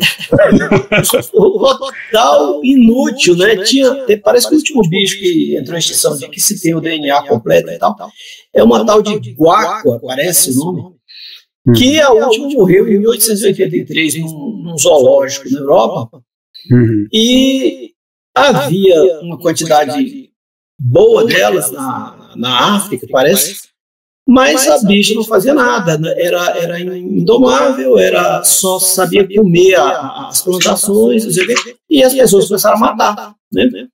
Então, se você não serve ao homem como animal, você está dando um tiro no pé. E o- Espero que vocês, bichos, estejam ouvindo isso. Eles vão deixar comentários agressivos. É bom. Porque assim, a, a, a vaca de hoje, né? É aquela. Agora a gente está entrando, parece, em um assunto que a gente falou do, finalmente, né? Do, no episódio perdido. É, que é a teoria do, do, do doutor Darwin, né? Então, o, su- o sujeito compra, sei lá, 12 galinhas em galo, e aí, quando vem as primeiras ninhadas, ele pega os melhores animais e separa, né? E aí vai ser aqueles os próximos que vão gerar novos, novos animais. Então, sei lá, 10 anos depois, a, a galinha que ele tinha e a galinha. A galinha que chegou e a galinha que ele tem agora é, é, é muito melhor, né? Sozinha, deixadas na natureza, bom, uma galinha provavelmente vai morrer, né? Porque ela não tem. É, cara, tipo galinha da Angola. Galinha da Angola, na fazenda tinha um monte, entendeu? E galinha da Angola é um bicho meio selvagem. Assim, ela tá por ali, Sim. mas, mas ela fica botando o ovo no pasto. Você tem que ficar caçando o ovo delas, né? Da galinha da E e não só. E e não aí só você para. Os bichos. Ah, É, e não só os bichos, né? O milho que a gente tem hoje, né? a espiguinha do milho original é pequena, hoje é uma espiga enorme. Eu não eu vai eu fui, no, eu fui no Museu do Milho, cara, no Equador. Tem milho que você não imagina, cara. Tem milho roxo, milho azul, milho é, cor-de-rosa, desse tamanho, desse tamanho, um grãozão assim, um grãozão assim. É impressionante, cara. Não me imagino pagando ticket para entrar no Museu do Milho. eu não sei como eu fui parar lá, cara. Eu não sei se eu fui por conta própria. Eu acho que eu fui com a, com a Hannah, que era uma estudante alemã, a gente estava sempre andando junto e ela tinha essas curiosidades. Mas eu fui nesse Museu do Milho. Mas uma coisa interessante sobre o milho é que a gente tem uma, uma, uma gastronomia rica, né, do, é, ligada ao milho, e a Europa, 100% do milho é para os animais, né, para os bichos. Quer dizer, um, um, um francês, coitado, né, uma, uma gastronomia rica como a deles, né, ele não tem uma pamonha, não tem um fubá, uma bro. Mas eu confesso que eu não, eu não gosto de pamonha. Rural, o cara mora em Paris. Hã? Eu não gosto muito de pamonha, não. Eu acho que deveria ser assim: deveria ser uma linguiça gigante com uma, com uma tirinha de pamonha dentro. e não uma pamonha com um pedacinho de linguiça dentro, entendeu? Não, pra mim tinha que ser ao contrário. Não é meu favorito, não, mas tem muita coisa de milho bom, né? Tem. Tem, tem os, os fubás e tudo. E é, eu vi um, um Globo Globo Rural um dia desse, é um senhor, sei lá, ele devia ter uns 70 anos, falando que ele foi ver arroz, plantação de arroz, com uns 10 anos. Era milho que eles comiam em diversas formas, né? A querela, que misturava, enfim. Então, teve muita gente vivendo de milho, né? E, e, e o, o, trigo também é uma coisa recente. É, Parece que teve um, um sujeito que ganhou até o prêmio Nobel da Paz por ter criado um trigo que desce mais facilmente, que desce no mundo inteiro, isso lá para a década de 50. Uhum. E, e foi quando o trigo chegou aqui, né? Uhum. Mas, democraticamente, não existia esse tanto de trigo. É, as pessoas, por isso que se desenvolveu uma cozinha bem rica e diversificada com mandioca e milho. E, e o trigo, porque o trigo é, do, é, do, é de regiões frias, né? Não é para cá mesmo. E hoje, e hoje a gente come pão todo dia, e rosca, tudo, tudo de trigo. Minha avó, cara, e meu avô, né? Mas minha avó, porque meu avô morreu quando eu era novo ainda. Na fazenda ele plantava de tudo, entendeu? Tinha, eu lembro da gente brincar de pega-pega no meio da plantação de cana-de-açúcar, entendeu? Por isso que esses filmes que tem essas, essas cenas, aquele filme de ET, que o, o, ET aparece no meio de uma plantação, assim, me lembra essas cenas de Filme pega, sobre pega... cana-de-açúcar também daria muito, né? O Brasil tem uma história enorme, é. envolvendo a cana. Ela plantava cana-de-açúcar, milho, arroz, a gente, às vezes, é, antes de ter máquina de arroz, tinha que levar, no, tinha um cara que você pagava para ele, para ele beneficiar o arroz, né? Com, o arroz, é, tem as máquinas de arroz, é coisa da minha é. infância mesmo, né? Por exemplo, a gente brincava, juntava aquele monte de saco de arroz num lugar lá que a gente subia lá em cima, né? Do saco é. de arroz para brincar lá em cima. É, exatamente, muito arroz. Então põe arroz na máquina, né, tem, ele passa por vários processos ali, né? Então tem o saco para onde vai a, a, casca, tem outro saco para onde vai outra casquinha ali, até, até sair no, no lugar onde o arroz está possível de fazer. Uhum. Hoje a gente não vê isso, né? Uhum. Assim, ou, ou, talvez, bom, pelo menos lá no interior não se planta mais arroz, já, já recebe o arroz das regiões do sul, o arroz que já vem prontinho quase, né? Você joga. Hoje nem se lava mais arroz, né? Antigamente se lavava o arroz, procurando coisas ali no meio e tal. Ah, eles falaram, não lava, eu fiquei pensando, mas eu lavo ainda. É, então, tem gente que não lava, a gente não lava. Porque, assim, não, não há sujeira ali dentro. Né? É, não lava para tirar aquele, aquele amidozinho para não ficar empapado, né? Não, mas ele fica soltinho. Sem lavar? sem lavar. eu acho que isso é um costume bem goiano, assim, da, da, da lavagem do arroz. É, não sei. É, porque é uma, é uma, é uma, uma coisa bem agrária também, né? As pessoas. Viu? Por que, que lavavam? Porque Alexandre, a pessoa. A gente está falando, Alexandre, se o, se o Dostoiévski e o Tolstói, se eles lavavam arroz. O Tolstói, eu imagino que ele fazia de tudo na fazenda que ele escreve, obviamente. Mas ele, Nossa, o Tolstói. Cara, mas o Tolstói, quase tudo que ele fazia dava errado, segundo a mulher dele, entendeu? Tem um, tem um livro ótimo que chama As Esposas, que são biografias das mulheres desses escritores russos, cara, é muito bom. E a mulher do Tolstói passou por cada. Nossa, por cada aperto, porque ele era muito louco. É, mas, mas Umas assim, porque eles estavam em dificuldade. Tipo, o Dostoiévski tinha os problemas dele, mas o Tolstói ele tinha jogo. ideias loucas. O Dostoiévski ele tinha vício de jogo, ficava sem grana e tal, a, a família que mas, ficava parasitando ele. De vez em quando também. Oi? Como é que é?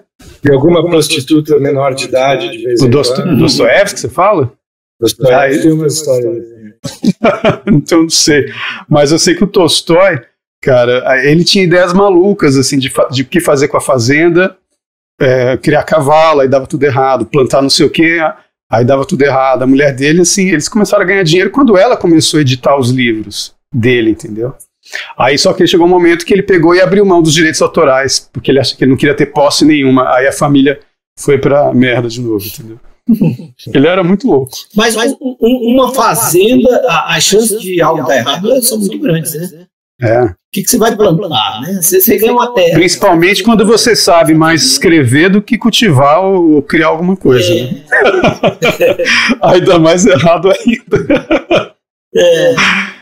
Tem que, que ser cara... coisa para profissional. Eu achava que ele era um super fazendeiro, ricaço, assim e tal, mas você vai ler a, bio, a, a biografia da mulher dele, cara, nossa, ele só ferrava com, com o que fazia lá. Difícil. É, e, e, e, nessa região dele deve ser complicado, não, não deve, né? Porque o Brasil tudo dá, né? Que meu, meu pai conta história de plantação de contava história de plantação de algodão, de tabaco. plantou de, também, também né, plantou né, de, café, meu, meu, meu, meu pai disse que fumou durante meu pai fumou durante uns 40 anos. Ele disse que o primeiro cigarro que ele fumou foi ele plantou fumo. Ele plantou. Então ele pediu para o pai dele: Não, é, eu queria fumar. Ele falou: Então plante seu fumo. Aí ele foi, deu um espaço lá para ele, ele jogou a semente, disse que nasceu uma coisa linda, né? Aqueles, são as folhas muito grandes, né? São bonitas as folhas de tabaco. Né? É. E aí o pai dele falou: Não, aquilo é meu agora. Assim, os pais mas, mas para fazer fumo de rolo, você fala? É, eles, eles, eles plantavam, pegavam, secavam. Eu acho que vendia, depois embolava aquele, aquela coisa assim, que vendia para alguém que fosse fazer mesmo fumo de rolo. Tá. Mas, é, e aí ele disse que ficou 40 anos procurando graças de cigarro e não achou garoto.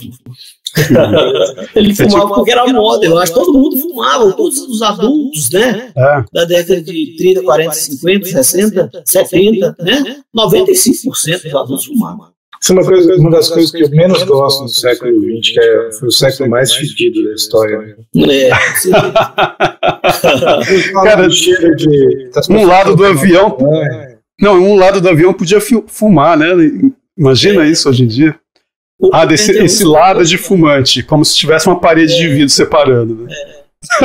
O Bertrand Russell conta a história do avião que caiu de lado assim, morreram todos os não fumantes. o Bertrand Russell fala isso? É, ele conta essa história. É. Agora. Eu vi um vídeo dele falando do Lenin, cara. É. Ah, tem, sim. Tem no YouTube. Dele sobre Lenin, né? Ele ficou espantado né, com a, com a figura. Assim. Porque o Lenin falava de quem eles estavam matando, assim, como se estivesse falando. É, porque no vídeo parece que ele está falando o seguinte, que, que ah, eu vim aqui porque você estava dizendo que estava fazendo socialismo e tal, mas o que eu estou vendo que você está fazendo é dar propriedade de terra aos, camp aos camponeses, né? Aí eu disse que o Lenin Rio falou assim, é, alguma coisa do tipo, eu não lembro agora exatamente as palavras, mas é como se ele quisesse dizer assim, não, a gente está colocando são os camponeses pobres contra os camponeses ricos. e, dá uma, e aí o Bertrand Russell imita uma risada de vilão de desenho animado. tipo assim, que reforma agrária que nada a gente quer, que botar os, os, os camponeses é. pobres contra os ricos. É, porque essa é a base do marxismo, né? a luta de classe. E, e, e, a teoria de Marx era como se fosse uma profecia, quer dizer, ele falava, vai acontecer isso, porque pela, pelo jeito que é o capitalismo e tal, a, a tendência... E não aconteceu nada disso, né? Então, Lenin vai e tenta colocar a coisa na prática. Né? Vamos fazer que isso aconteça. É igual um cristão tocar fogo no mundo para fazer o apocalipse acontecer. Não é de ideia. Mas só que eu entendo no marxismo é você tem uma você é cientista, você tem a pretensão de ser científico, certo? Vamos ser científicos. Sim. Não só descrever o que está acontecendo. Existe uma luta de classes. Ok, se você descreveu cientificamente, objetivamente, tem uma luta de classes, como ser parte daí que você tem a obrigação de fazer parte de um partido na luta de classes? Eu não posso querer fazer parte da luta pelo ponto de vista dos opressores. Eu vou, vou ser igualmente marxista se eu fizer isso. Não, e é aquela coisa do povo no poder, né? Do, que é uma, uma contradição de termos. A, né? a ideia de você, povo, né? Se você está no poder, você deixou de ser povo, né? É elite, você está no poder. E nunca é o povo, né? Porque no poder não cabe tanta gente. É quem, é quem diz que está que está que, que, que tá representando o povo.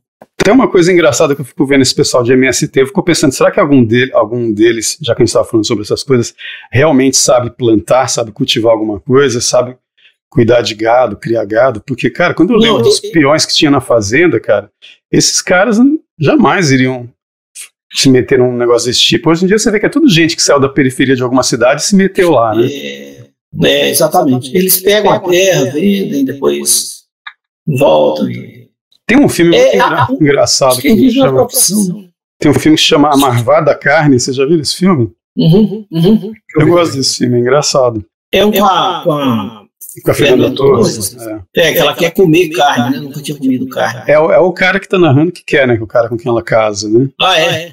Ah, sim, então é o cara que quer, não é ela. É, é ele, ele, é um, ele é um caipira, assim, de, de interior, ah. de fazenda, mas vai parar num, numa periferia de cidade e finalmente come carne, né? Quando ele está morando numa periferia depois de ter saído do campo. A gente falou sobre três, três elementos nesse podcast. A gente falou sobre água bastante, né, as enchentes, rio, não pode entrar no rio duas vezes. A gente falou sobre fogo, as queimadas na floresta. A gente falou sobre terra, um monte sobre plantação. Agora está faltando a, a, a, parte do ar. Vamos falar a parte do ar. Interessante. É, é, o, o, o fumo, de certo modo, né? Fumaça. É quase, né? Não, mas o negócio que quando você falou de, de, de fumo, fumo de rolo, tá, eu lembrei que, cara, eu tinha tanto encrenca com esse negócio de, de nascer e crescer em São Paulo, ter parentes no Rio e parentes em, em Goiás, é, com, a, com a questão da linguagem, né?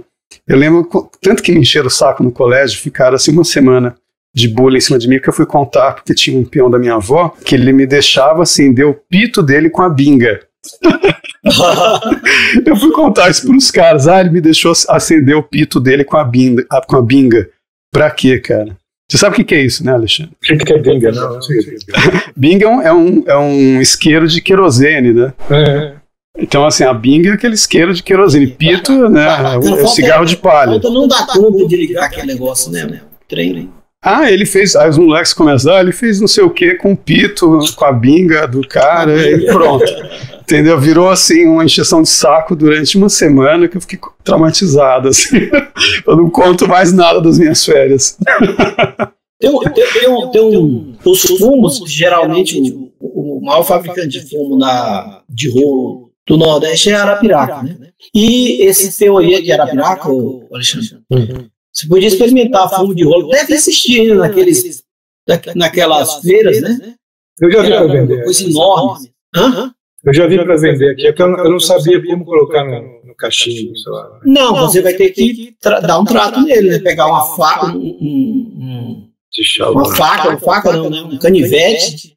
É, a gente já viu isso muito, né? O, o sujeito fazendo o, é, tá o, o, cigarro de palha de milho, né? É. Não, não. Então você pega o, e corta em pedacinhos, em pedacinhos, em pedacinhos. É o ritual. O cara deve até fumar menos, porque é um tempo danado que ele fica ali. É, um ritual. Pré. e, Não, e, cara, quando eu era criança, eu, eu, assistia tanto filme de Bang Bang, tinha uma série que chamava Bonanza, né? Tinha o James West, aquelas coisas todas. Ia para fazer, não me sentia que eu tava no Velho Oeste, entendeu? Porque os peões, os peões todos andavam com espora, né? Na, na bota, né? Uhum. Chegava a cavalo um chapéu de espora, tirava o cigarro de palha, né? A palha, tirava o fumo de rolo, começava a picar, contando causos, né? Aí acendia com a binga e eu sempre queria acender, né?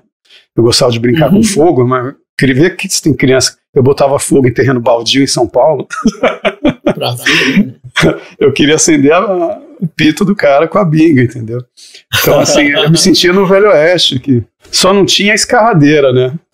É. Igual não, no então, Congresso. Tinha pessoas que fumavam, tinha pessoas que mascavam, né? É. Então tinha, tinha uma relação diferente com o fumo.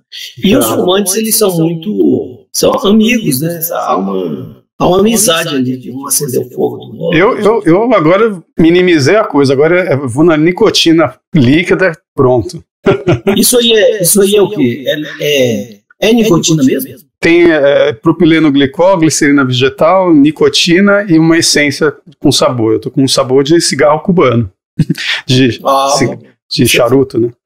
Charuto. Cigarro. Pois é, eu, eu cresci entre fumantes, quer dizer, meu pai fumava, né? E todos os, os, os adultos ali ao redor.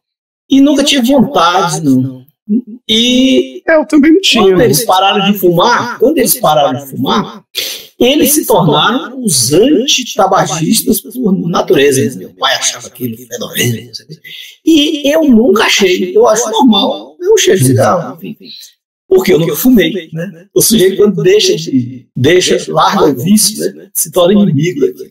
Cara, nos anos 80, toda casa tinha cinzeiro espalhado para tudo quanto é lado. Exato. É. Mesmo quem não era fumante. Na casa dos meus pais ninguém fumava, é. tinha cinzeiro por causa dos amigos. Né? Você recebeu é. um, um, fumante.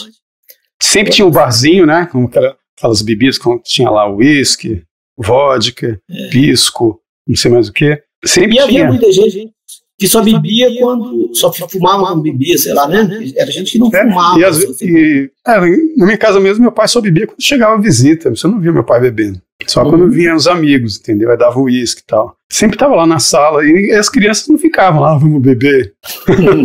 Nem os adolescentes. É, é loucura, né? É, é. é, eu não sei como é hoje, né? Se eles fumam tanto. Não, nesse filme, A Primeira Noite de um Homem, tem uma cena muito engraçada que hoje em dia ia causar, assim, revolta, né? Que o cara vai buscar a garota para levar ela para sair à noite, né? Ele tem 20 anos de idade, ela tem acho que 17, não sei. Vai levar ela para sair. Chega na casa dos pais dela, o pai dela oferece uísque para ele, entendeu? Ele, não, não, não quero, não, bebe aí, não sei o que. Tipo assim, o cara vai levar sua filha para andar de carro, num carro esporte conversível, no maior pau. E você oferece. e antes você dá, assim, um, umas três doses de uísque pro cara, entendeu? E é super normal, mas ninguém acharia isso normal na época, entendeu? É, é. Chegou lá um cara, uma visita, um cara distinto de gravatinha, toma um uísque, entendeu? Você vai levar minha filha no carro esporte, toma um uísque antes. Não, e hoje, se você para no Blitz, tiver comido, tinha, tinha aquela coisa que o povo falava, né? Comer um bombom de licor, não sei o quê. Aparece lá, é como se tivesse bebido, tanto faz. E aí as pessoas passaram a beber mais em casa e sair menos também. Pois é. Tinha uma. Tem uma pessoa, coitada, que é encarregada de não beber durante a noite. É, é sempre é, tem, é um, é um sacrifício, né? É um sacrifício que alguém tem que fazer. Quem vai ser o sacrificado da noite?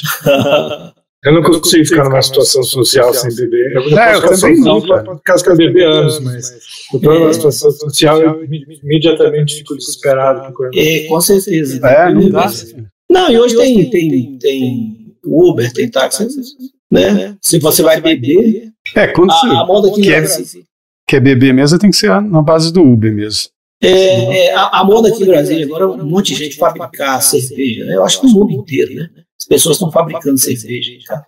Aí tem, tem uma confraria que uma amiga minha participa, e aí de vez em quando todo mundo leva a sua cerveja, porque a pessoa vai fabricar cerveja, e ele fabrica, sei lá, 500 litros, né? Ele não dá conta de tomar aquilo tudo. Aí tem que arrumar alguém para beber a cerveja que ele tem. Aí ele tem essa confraria aqui, eles se reúnem todos e vão lá. E aí um dia ela me convidou, eu, era na casa dela o, o, o almoço lá para conhecer as cervejas novas né, das pessoas. Aí eu fui lá e é lógico, né, peguei um Uber. Porque eu era a pessoa mais importante lá, eu era o único que não tinha feito cerveja, eu ia só para só beber. E aí aquelas pessoas. Aí você pega o copo, né? Os congel, congelador lotado, né? De freezer de, de cerveja, sem rótulo, né? Porque não, só com a, com a tampa de cores diferentes. Então cada um tinha uma tampa da sua cor. Aí você pega a cerveja, chega o cara, o dono da cerveja, o cara que fez, né? E aí põe e aí fala para você, essa cerveja é um, é um malte que veio de Israel com leves tons, assim, sabe? E começa a descrever, né? Você é doido para tomar cerveja. Aí, até que você toma, né? Tá, tá ótimo, né? E aí passa para a próxima. Eu tava ali só para beber, né?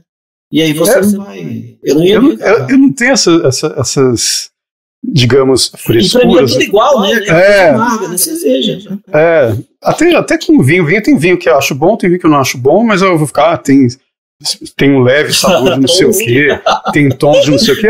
Não, é ácido, ou senão ele tem tanino, tá, tá, tá é pronto, entendeu? Agora se tem sabor de não sei o quê. De... Esse pessoal que faz cigarro eletrônico, o pessoal tem o pessoal que tem esse papo com os líquidos também. Ah, tem leves tons de não sei o quê, tem que deixar o negócio descansando durante não sei quantos dias antes de usar o líquido. Depois que faz, não, eu faço, pá, já ponho na hora, já começo a fumar, porque eu preciso da nicotina agora. Entendeu? É, porque é a diferença entre o, você que gosta de assistir filme, gosta do cinema e o, e o cinéfilo, né? O crítico é. de cinema. Você vai ficando chato à medida você, você deixa de, de, de viver até, né? De curtir devidamente a coisa quando você fica com essas frescuras de tons. Uhum. O, o cinéfilo é, é isso, né? Tem, tem uns filmes de cinéfilo, né? Como tem os diretores, de, como tem os diretores de, de festival também. E é, é esse super especialista da coisa tem uns tons de Tarantino, né, no, nesse filme. É, que muitos querem chegar, né? Tem um cheirinho de Godard. É. A pessoa começa a ver um negócio... Lá no fundo da, né, da língua da mente. Da taça. É, depois que você... E as pessoas deixam de relaxar para curtir a coisa, né? Leva é tipo o mais, o mais preguiçoso dos intelectuais, né? Porque o cara só fica sentado na poltrona e o filme vem ele pode estar dormindo, pode fazer qualquer coisa. É a arte mais fácil de consumir. A pessoa se orgulha muito de ter visto filmes, né? É, é você ficou só deitado. É. Oh, e aí, os filmes que é para você se orgulhar, né? Será que a gente pode entrar na, na, na que a nossa primeira conversa do, do último podcast, do podcast, como você falou, perdido, né? podcast pedido foi sobre leitura, né? Que o pessoal pediu para a gente falar sobre leitura, né? É. E, por exemplo, que, que, a leitura exige um esforço de atenção, uma concentração, né? Não, Não mais do que isso. Exige que você saiba ler, né? Você, você vai para a escola, fica lá, né? sei lá, três anos, aprender a ler. Esse detalhe. aí, Se bem que tem os teóricos de cinema que falam umas coisas. Por exemplo, você lê o livro do Tarkovsky, é, como se chama?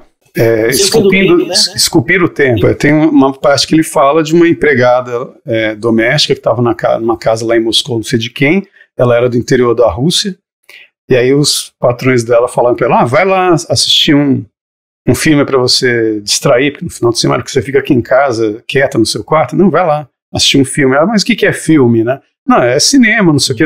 Antes da televisão a história. Né? Ah, o que é cinema? E ela foi lá assistir e voltou horrorizada. Mas o que, que aconteceu? Nossa, era horrível, um monte de cabeças cortadas falando. Tipo, nós aqui somos talking heads, assim, cabeças é, cortadas é, falando.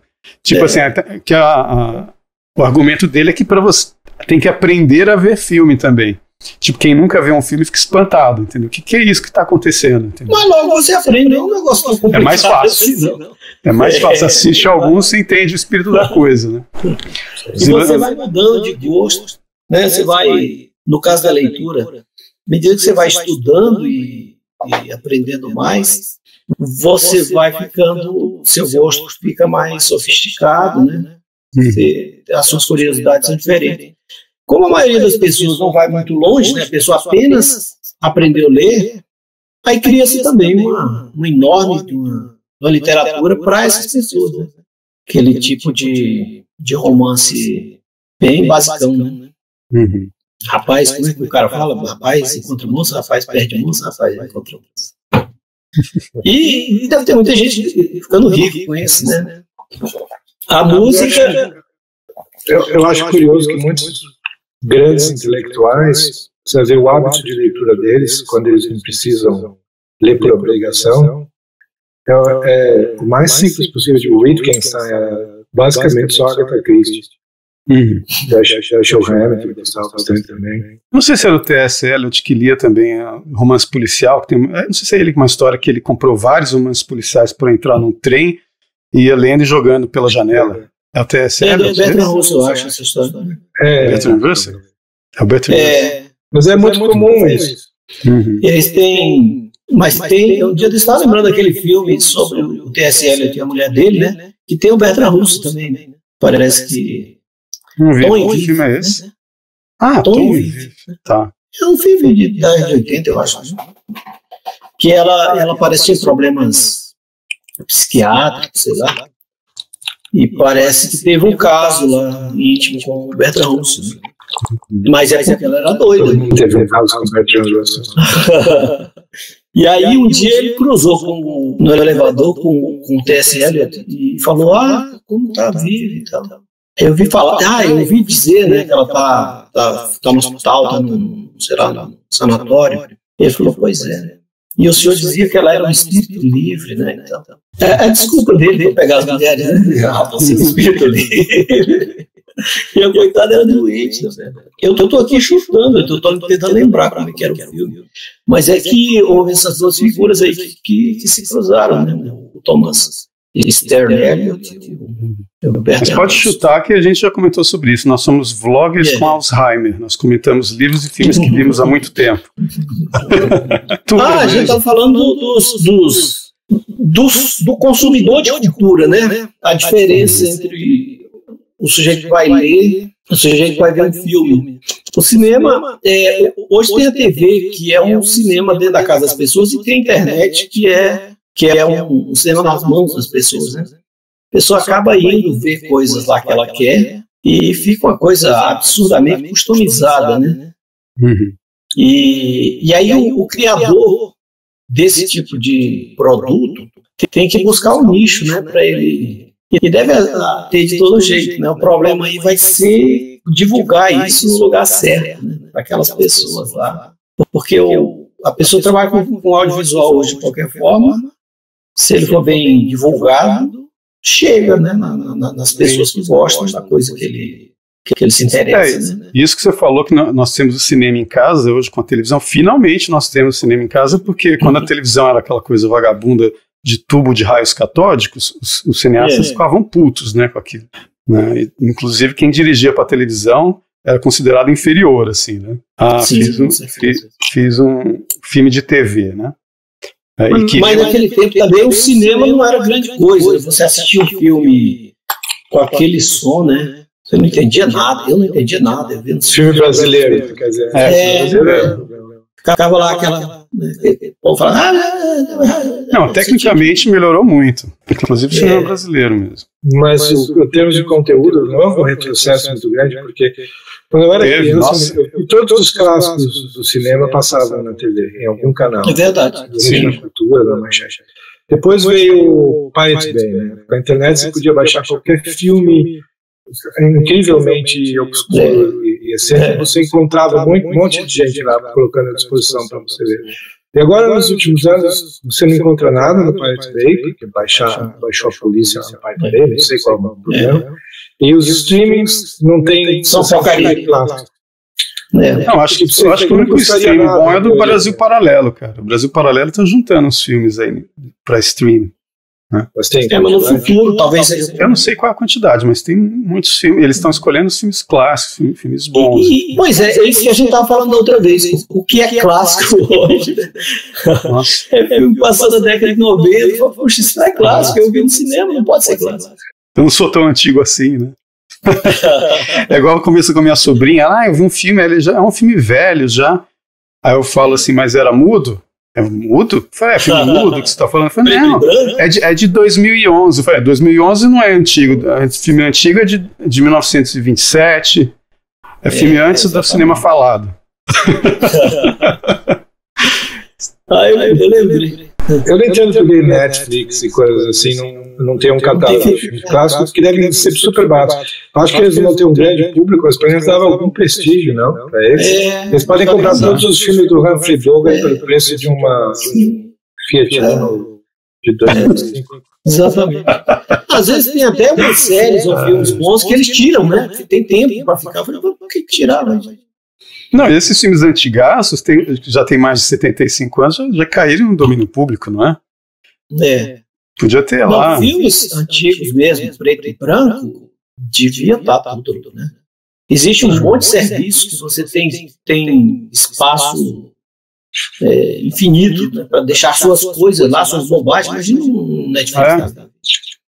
Eu acho que é um filistinismo agressivo esse streaming, de não querer colocar essas coisas, porque não querem. Então, pois isso, aí seria uma maldade, né? Assim, ou, ou, ou talvez eles, que, eles se sentam na obrigação de ver o filme e falar assim, não, esse aqui não pode, né? É, porque tem, tem um trabalho firme deles, né, a favor da, do progressismo e tal. E todo filme sempre antigo, normal, sempre tem alguém. Mesmo um filme feito por um comunista de 1950, vai ter coisas completamente É, impensáveis. que já não pode. É. Vou te comentar uma coisa, viu, César? Podcast perdido eu falei, dessa vez eu esqueci de te apresentar, cara. o César Ah, Miranda, ah, César Miranda, é, que é Acho escritor legal também. apresentar, apresentar no, no terço final da. É, escritor também, também participou do- dos Wunderblogs junto com o Alexandre. Né? Tal, esqueci de te apresentar, cara. Quem não conhecer, vai atrás, né? Estou ali no Twitter, no no meu blog. Aí, nessa hora aparece aí, o blog está escrito aí embaixo. Nós estamos fazendo um podcast, do, assim, nós somos excluídos, estamos fazendo um podcast com pessoas excluídas também. É, perfeito. Os excluídos merecem. Os outsiders. Você já leu esse livro? Já leu esse livro, Outsider, do Colin Wilson? Outsider. Eu, É, eu, eu gosto muito do Colin Wilson. É, eu acho completamente não confiável, mas eu, eu adoro. Ele é muito bom. é, porque ele viaja pra caramba, né? Mas esse, esse livro é ótimo, é o Outsider. É, eu Tem um li- dele também li sobre o Jung, a- bom também. Eu li a Catena Áurea, do, o- o- que é um- uma coletânea de, de comentários ao, ao Evangelho, organizado por Santo Tomás, né? É coisa bem antiga. Li a de Mateus e a de Marcos, e aí para dar um tempinho, para passar para Lucas e João depois, eu estou lendo agora Balzac ali. Alguns, algumas histórias que eu não tinha lido ainda. Porque Balzac você começa e você fala assim, vou ler tudo. Aí você não lê tudo, né? Você lê assim, dois, três volumes daqueles e para. E, assim, lê os principais, né? os mais. Os Pai Goriot e Primavete. Ele é bem irregular. Eu tinha- Eu estava tentando ler A Mulher de 30 anos ano passado e eu, Pois é, eu, eu, eu comecei a no- um livro contra a parede. Por quê? Pois é, não, não foi para Eu achei frente. imbecil. É. Ele é Ele irregular. de ser imbecil. E Mas tem ele é um gênio, ele é um gênio imbecil. Ele, ele é capaz de ser muito bom e muito ruim, mas insultantemente ruim. É. Mas é que tomava Eu que café demais, cara. luxo, né?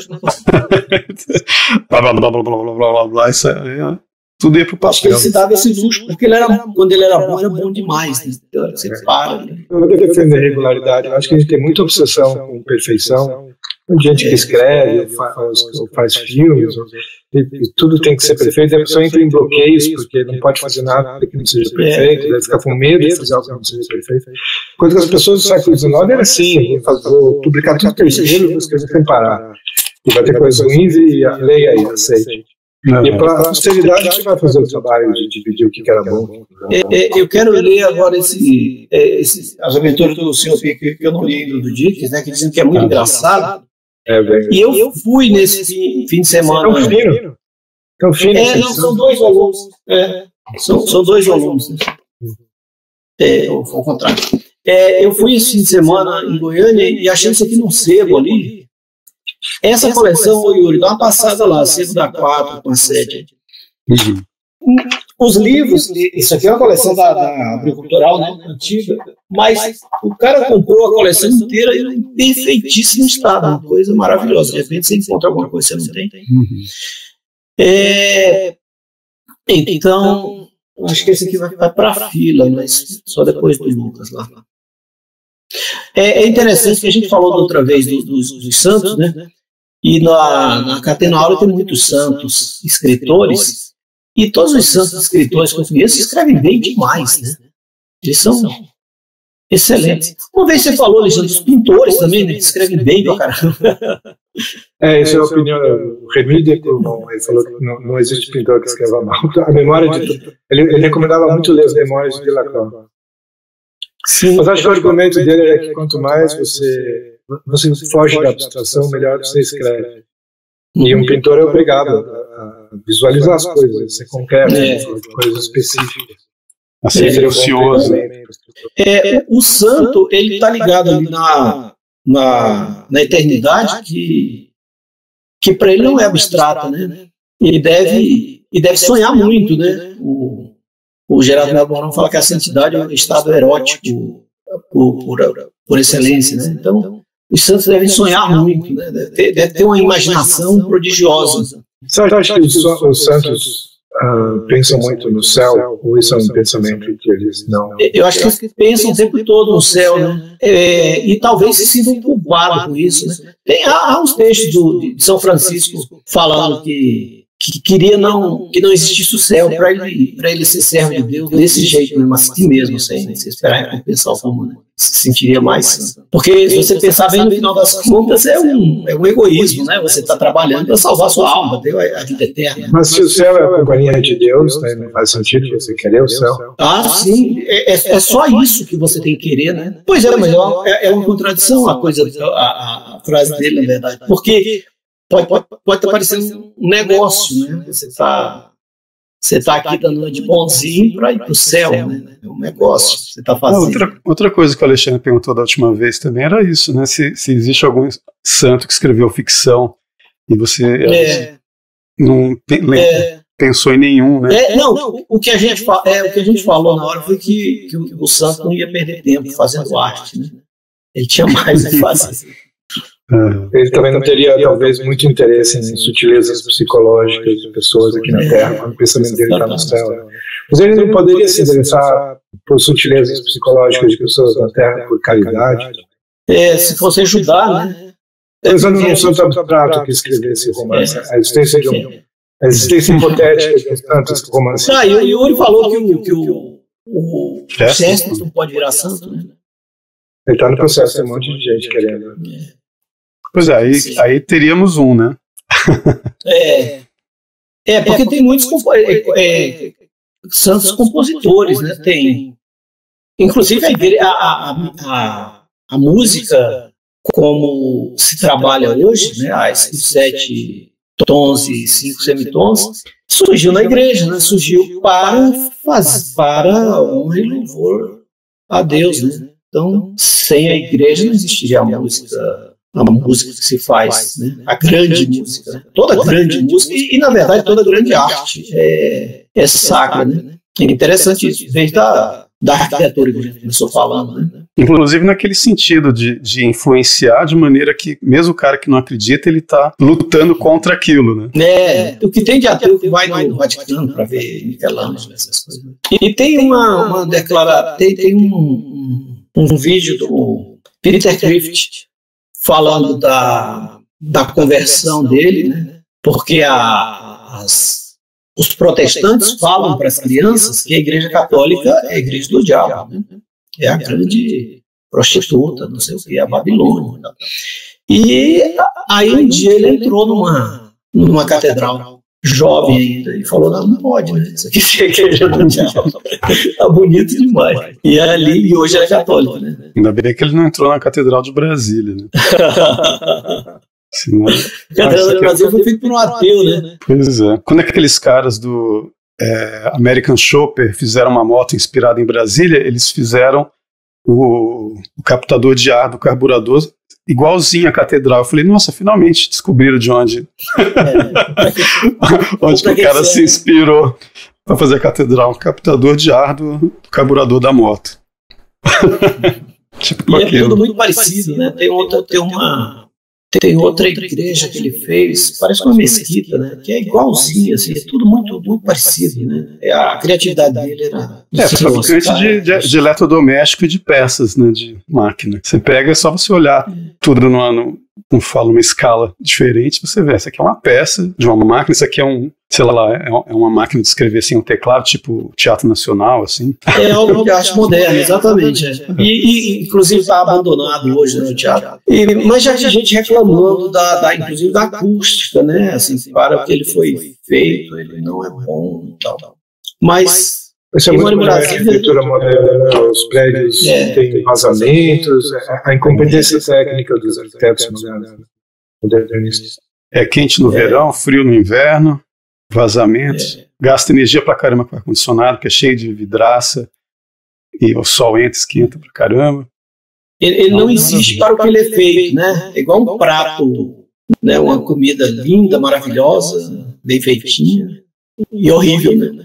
Ruim e, que faz mal à saúde, né? Uma coisa assim. É melhor ela ser feia e gostosa, né? Mas aquilo lá nem é bonito, né? O problema é esse. Mas tá piorando, né? É, hoje você vê as casas novas, aquelas coisas quadradas assim, um em cima do outro, parece. Não, o que eu ando muito meio puto, cara, é com, é com, essas construções, esses prédios que estão fazendo hoje no Brasil inteiro, não é só em Goiânia, para tudo quanto é lado, de mais de 30 andares, e que com a tal da pandemia, o negócio piorou, porque um monte de lugar faliu, fechou bares, restaurantes fecharam e venderam os, os terrenos para as construtoras e os prédios apareceram nesses lugares em bairros que agora aprovaram novos, novos é, planos diretores, é. né? É. E detalhe, eu, eu entrei no site da CIEG, que é a Associação Comercial, Industrial, blá blá blá, vi notícia de 2014, 2012, não sei, de que construtores goianos tinham ido para a China e fechado negócios de bilhões de dólares para construção civil no Brasil, cara. Imagina, os caras receberam maior grana, esse pessoal de construção no Brasil, pelo menos de Goiás estava lá, né? né? Uhum. É, dos chineses, e não tinha onde construir. Porque o plano Uau. diretor não deixava. Aí vem a pandemia, quebra um monte de gente, é. os caras vendem os terrenos, e aqui no bairro, setor Bueno, que era bairro nobre, cheio de casarão, mansões, né? Umas coisas bonitas. Cara, um monte de mansão bonita que você achava que ia ficar lá para sempre foi pro chão. Então, e os prédios estão brotando tá... igual cogumelo. Todo mundo parado sem dinheiro e as construções cheias da grana, construindo no, no lugar do, do, pessoal que faliu. Entendeu? Não é uma coincidência interessante essa? É. E, e, esses prédios são todos de chineses? Como é isso? Não, então, os caras, segundo. Eu comentei isso no Twitter, aí o pessoal da SEG foi lá e deletou a matéria. Mas eu tinha salvo naquele site arquive.org, entendeu?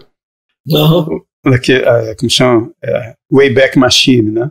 Eu salvei a matéria, tá lá linkado, entendeu? Os caras receberam, fizeram, fecharam acordos de bilhões de dólares para a construção civil.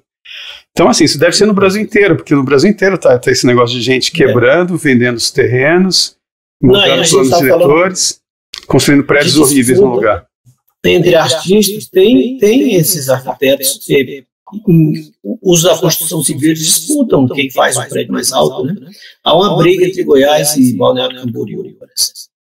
Antigamente, antigamente a briga era quem construía a catedral mais alta. Tanto é que o arquiteto do Hitler, o, o Sper, né?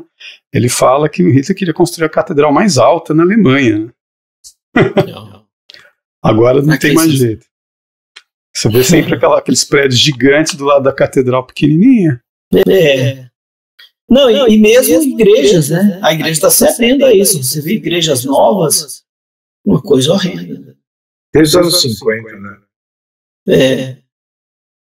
Tá, mas é, é assim, você vai compor uma música, eu estou pensando que estou fazendo, dando de advogado de você vai fazer uma música, você não vai fazer uma música barroca, né? Você vai. Que música você vai fazer, né? É, e alguém ouve falar, poxa, não, eu gosto mais de bar, essa sua música aí está muito feia e tal, tal. É, Fazendo essa dificuldade de ser moderno e, e sem é, ser. A, a, é, como é que a coisa evolui, né? Às vezes não é para evoluir mesmo. Não, a gente quer que evolua, deixa. Não, por exemplo, tem um pintor que eu gosto muito que, que entrou na moda desde uns anos para cá. Que é, que é engraçado quando você gosta de uma coisa, por exemplo, nos anos 90, eu, eu, quando eu descobri o Gustavo Clint, eu falei, nossa, esse cara é fantástico. Uhum. Porque ele conseguia ser moderno e tradicional ao mesmo tempo, entendeu? É. Pega uma inspiração é, em artistas antigos, clássicos, mas ao mesmo tempo faz uma pintura muito moderna Né? É, se vê que o cara sabe desenhar, né? Sabe desenhar, entendeu? Então, assim, é possível você fazer uma coisa atual, mas respeitando a tradição. É, é, Aquela, é tem uma você, casa né? Aqui em Goiânia, que é a casa daquele, que foi feita pelo Leonardo Riso, que é um, não sei se é um centro cultural agora, sabe que é um casarão que tem perto do centro. Se Eu, olhei aquilo, a primeira vez que eu vi, eu achei que devia ser uma casa da época que em Goiânia era uma roça. Tipo um casarão de fazenda, mas ela é grande, assim, alta. Uhum. Não, construiu no estilo de, ca- de casa antiga mesmo, só que com vários detalhes modernos. Isso é interessante, entendeu? Mas os caras não conseguem É. fazer isso em prédios, em nada por aí, entendeu? E tem aquela uniformidade, né? Você vai nesses condomínios aí, um monte de casa nova, é tudo muito parecido. Os, os donos não sabem. Também os donos são qualquer nota, né? Faz aí. Tá, tá. Uhum. E os, os arquitetos sabem o que estão fazendo, que é, que é essa coisa horrorosa. Né? Aqueles se propõem atualmente. Uhum. E todas iguais no mundo inteiro, né? Estilo É, internacional. É, é. A, a arte, na verdade, ela segue no mundo inteiro, o tempo inteiro, né? É tanto que tem essas coisas, né? Que você pode fazer filme, numa- filmar em Sydney, igual o pessoal da, da Matrix fazendo de conta que está em Nova É. York, é, filma no Canadá, diz que está numa outra cidade dos Estados Unidos. Tudo é uma, uma cara da outra, né? Só não É, dá pra fazer, só não dá pra fazer aqui, porque aqui ó, eles não, não passam aspirador de pó na calçada. É, aqui é, é impossível, né? No Canadá, os caras passam aspirador de pó gigante, né? É, Limpando a rua. Paris também. É, limpa a rua, pelo menos. É, então, assim, aqui- são as calçadas, por isso que as, são as calçadas mais horrorosas do mundo. cada, e cada, cada uma de, na mesma linha você vai seguindo cada uma de um jeito, né?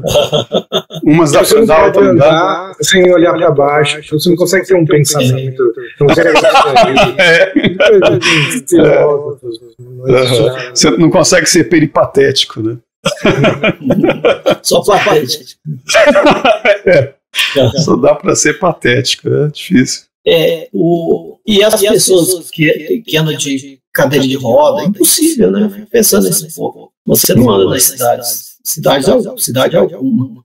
Ah, eu lembro quando o Brasil foi, na época do Lula, assim, ó, eu fazendo propaganda com o Lula, foi sexta economia do mundo. Aí eu falei, mas isso não fez diferença alguma, né?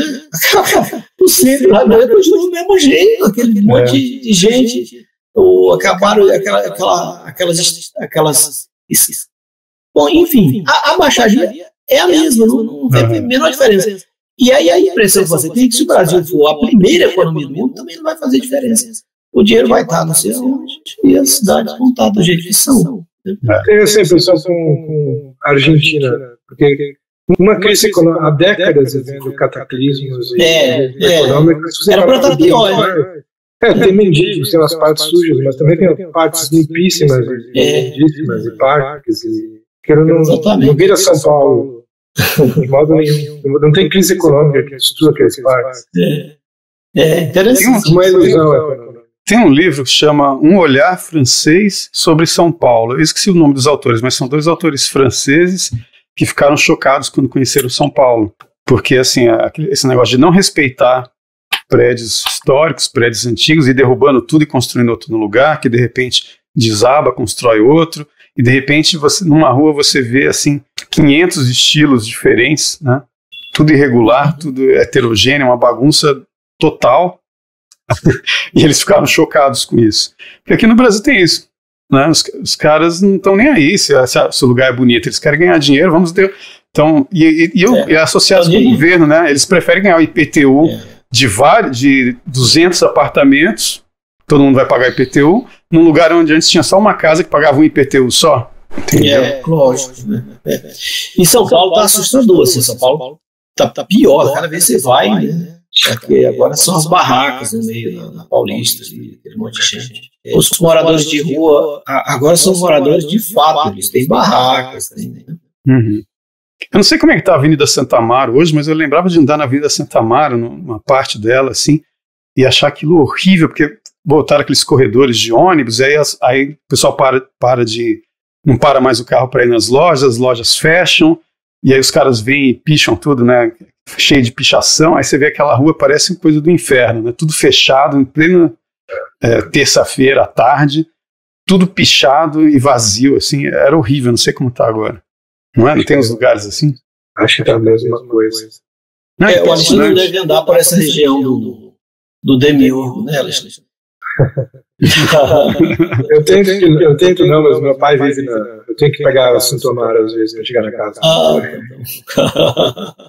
Brasília é um pouco diferente, porque é um, parece outro planeta, né? É algo. É um acampamento num outro planeta, né? É, o trânsito é bom e tal. Mas já se vê muita gente morando no meio da rua do jeito que está já. Né? E, e não se ouve falar nenhuma solução para aquilo. Porque se tiver, se houver, quer dizer, o que, que você vai fazer? Vai chegar na pessoa e dar dinheiro para ele voltar para casa? Sei lá, dar uma casa? Se você fizer isso, vai vir outro no lugar dele, né? ou dois. Né? Uhum. É, é, um negócio complicado, difícil de, de achar uma solução para isso. Né? Tá bom. E qualquer solução que passe por retirá-las dali é inaceitável. Né? Não anda, não anda. Hum. Eu só ver a hora aqui, não sei quanto tempo a gente está falando. Vai dar quase duas já? É. é duas horas já. Eu estou tranquilo hoje, você sabe. É? Ah, vamos conversando. Depois o pessoal que, que a gente ficou uma semana sem gravar, dá uma dose. É, já tem cavalar agora. É, igual eu, né? e ah, interessante é isso, né? porque eu, eu ouvi todos os. Eu sou um dos ouvintes do podcast e ficava lá, né, lavando prato e ouvindo essas coisas. Uhum. E aí eu vou ficar, eu fiquei uma semana vou ficar duas, porque esse aqui fui eu que participei e eu não ouvi, né? Você não gosta de, se ouvir? Uh, não, não vai ter necessidade. Eu ah. acho que eu vou ouvir para. Não, não vou ouvir. Não, mas não gosto de me ouvir. Eu acho que ninguém. Eu acho que o Frank eu, eu me sinto péssimo me vendo e me ouvindo. É. Tipo, mas não sou eu, não é, não é assim que eu me ouço. Esse paspalho sou eu, né? Não sou acostumado com isso. Ainda mais eu que fico quieto é, muito tempo, entendeu? Fico muitos dias sem conversar com ninguém. Aí eu acho estranho falando pra caramba, assim. É, é engraçado porque a gente.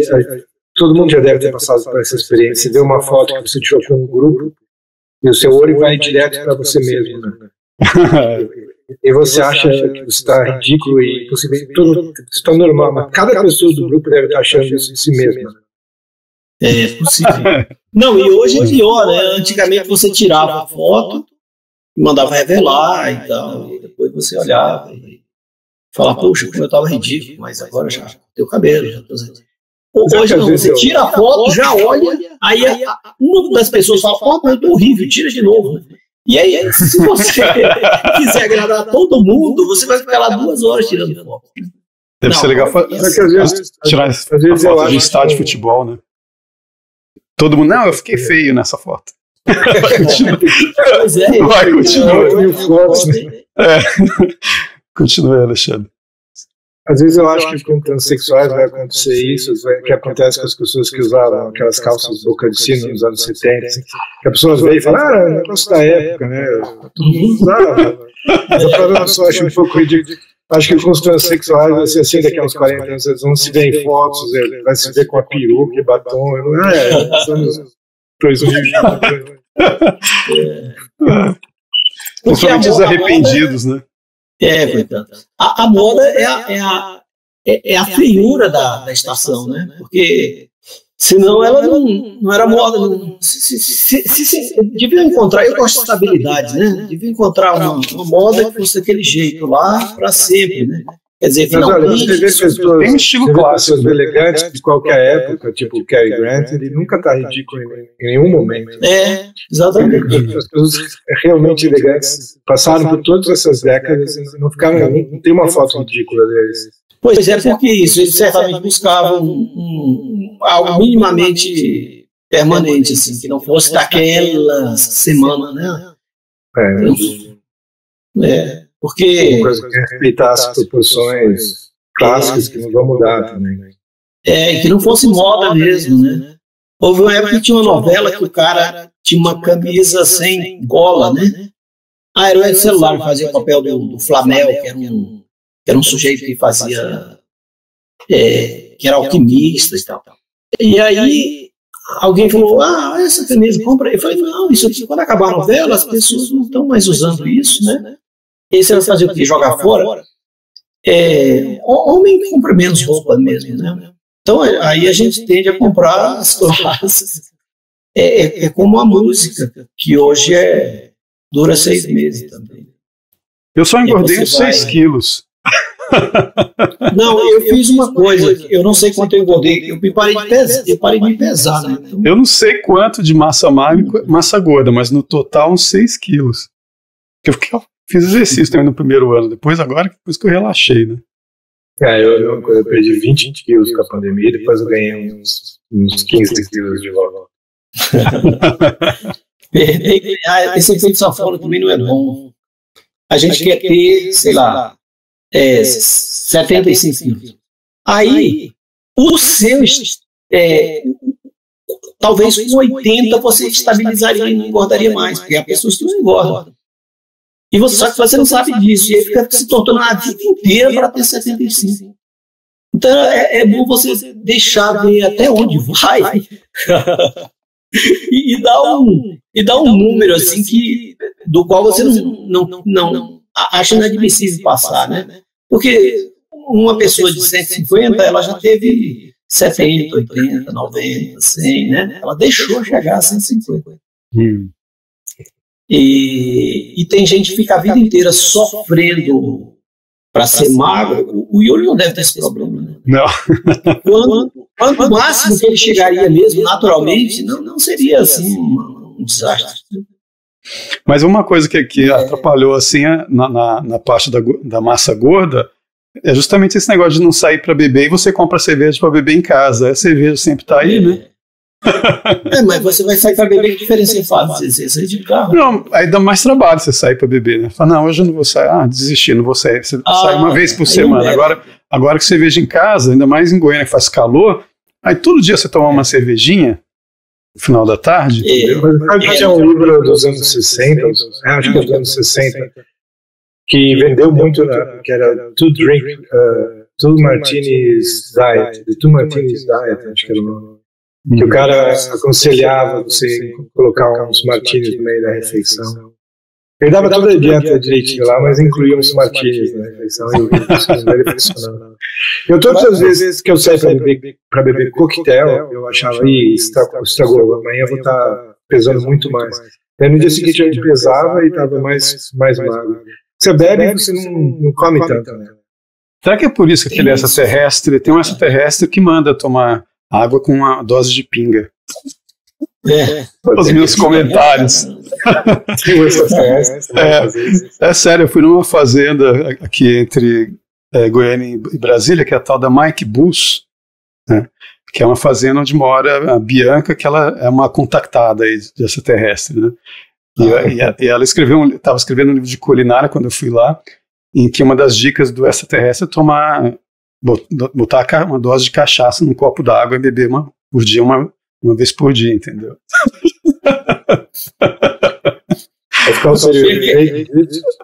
é. Talvez seja isso que você está falando, porque eu também não sabia, entendeu? Eu achava que era ficar bêbado e, e não ver os, os cabos que estão segurando o escovador.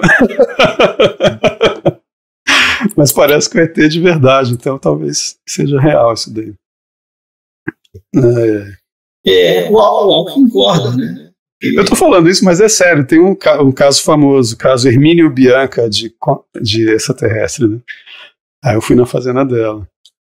Ela é gente boa. É, mas tem essa história lá da dieta deles lá. Talvez tenha a ver com, esse, com essa dieta. Aí ela acorda, ela acorda, bebe cachaça com água. Não, não, não, eu não sei como ela faz. Eu lembro que, que no livro dela tinha uma. Que, ela, que eu acho que me passaram lá, o, manuscrita falava, acho que uma vez. o pessoal no almoço, acho que depois do almoço, tomava um copo d'água. Com é, se você tomar cachaça, você deve beber menos álcool mesmo, né? Agora, o perigo é você viciar naquilo, né? Tem gente que vira cachaceiro, assim, não para beber.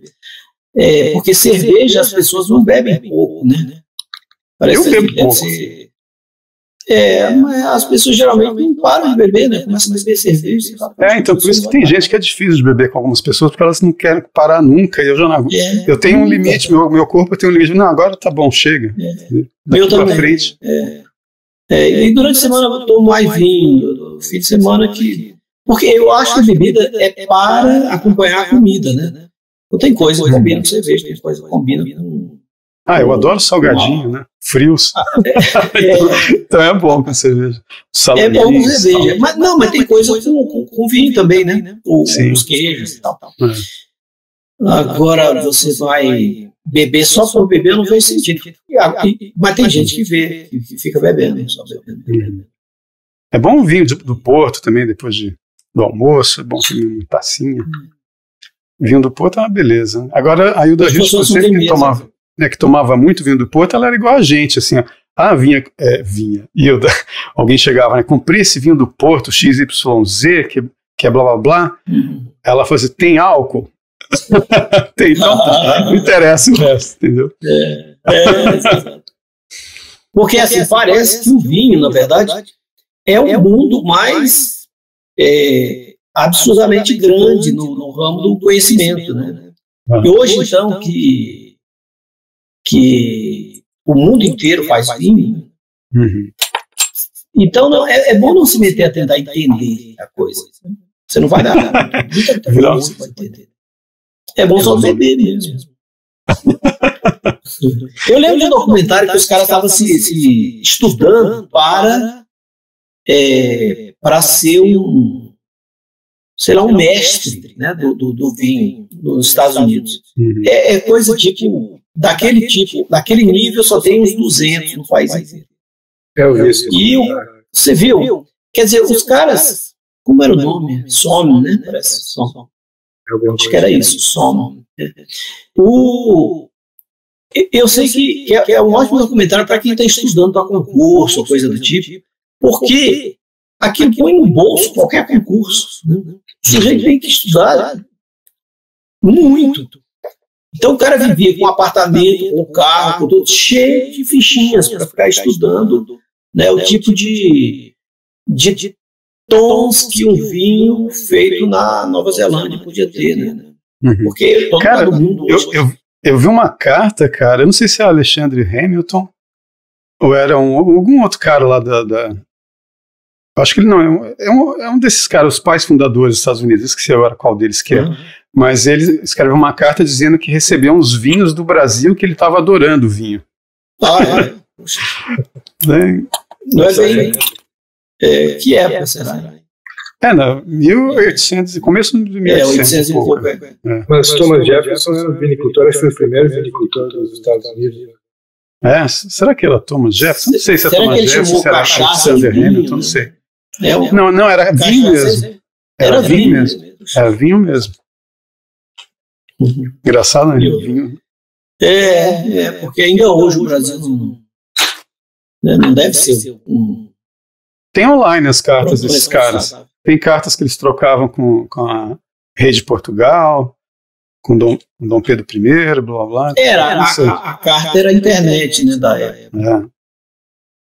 Dava um trabalho. Eu já ouvi, eu ia no correio todo dia, assim, pra colocar carta.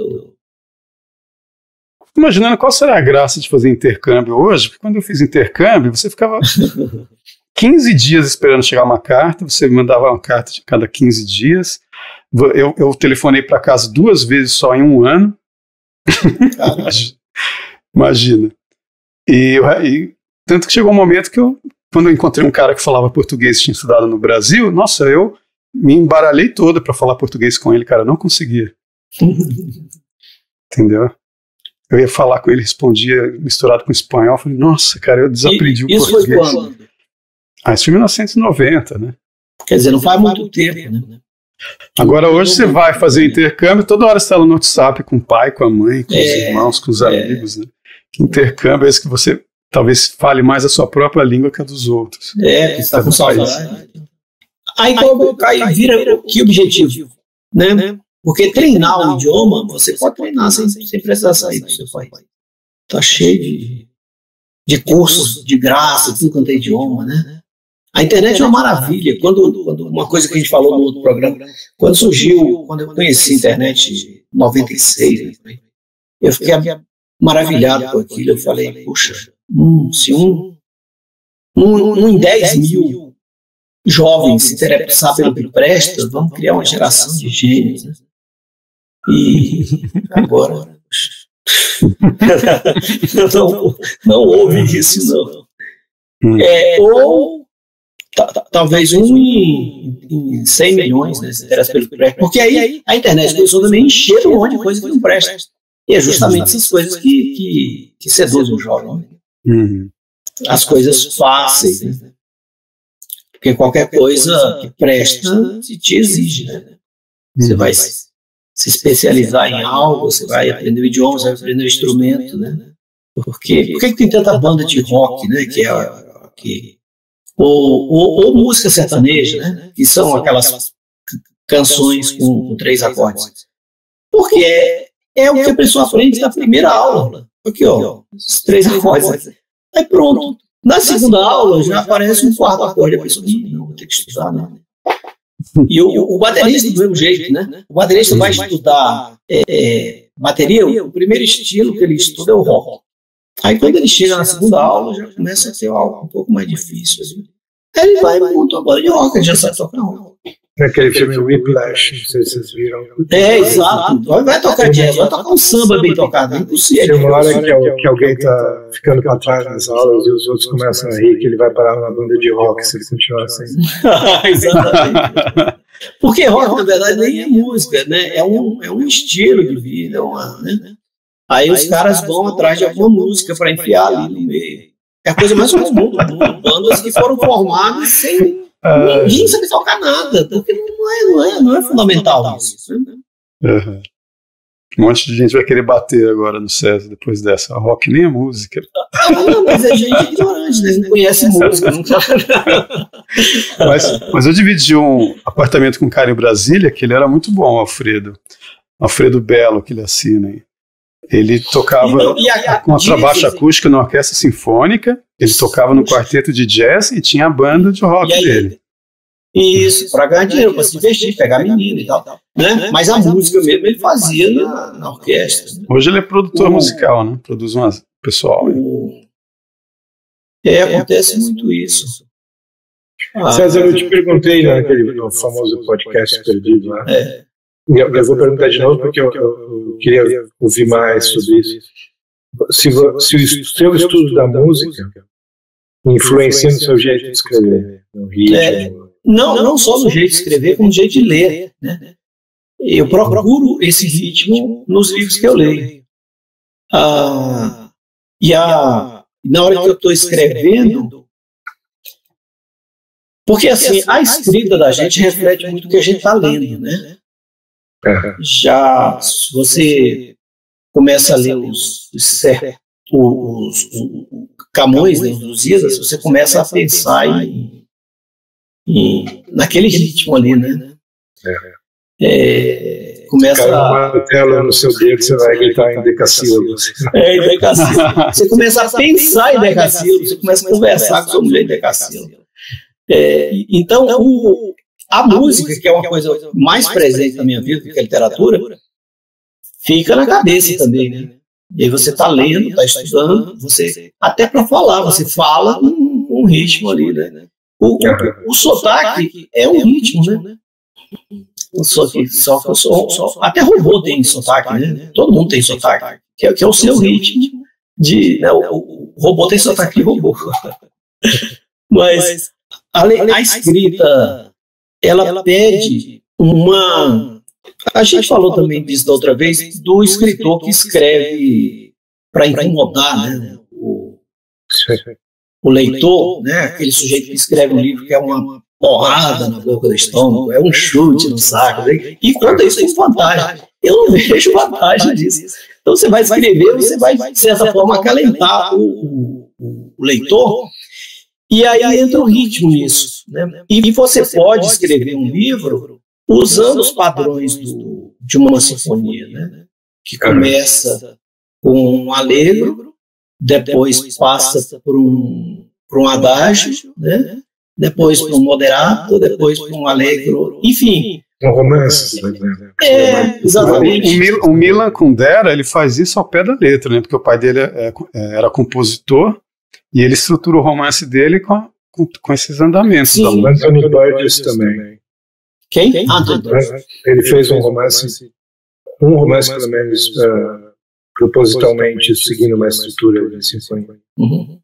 Porque assim, as, as regras da arte são importantíssimas para que a arte seja mais importante do que você.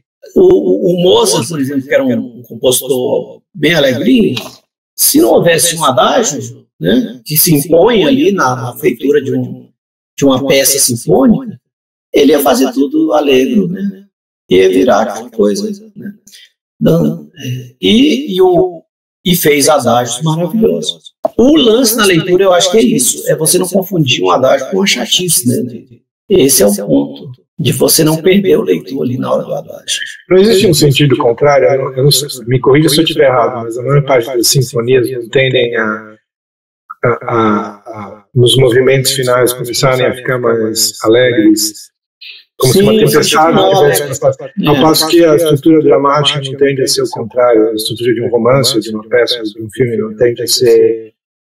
Pode começar um pouco mais leve, mas gradualmente vai ficando mais sombrio e termina de uma maneira catastrófica, muitas vezes. É, sim, o, a, a, a, a literatura, as peças, e no caso, quando a música se junta com a literatura, que é, que é a ópera, muitas vezes o auge é no final, né? Que é o Rigoletto, né? Que é uma tragédia horrorosa, né? Todo mundo O morre. clímax, né? É, é o clímax, é no finalzinho. As é, sinfonias nem sempre são assim, porque assim, a música é uma construção de. O sujeito constrói uma, uma tensão e a resolve, né? E às vezes o, a tensão vai crescendo, crescendo, crescendo, e aí resolve.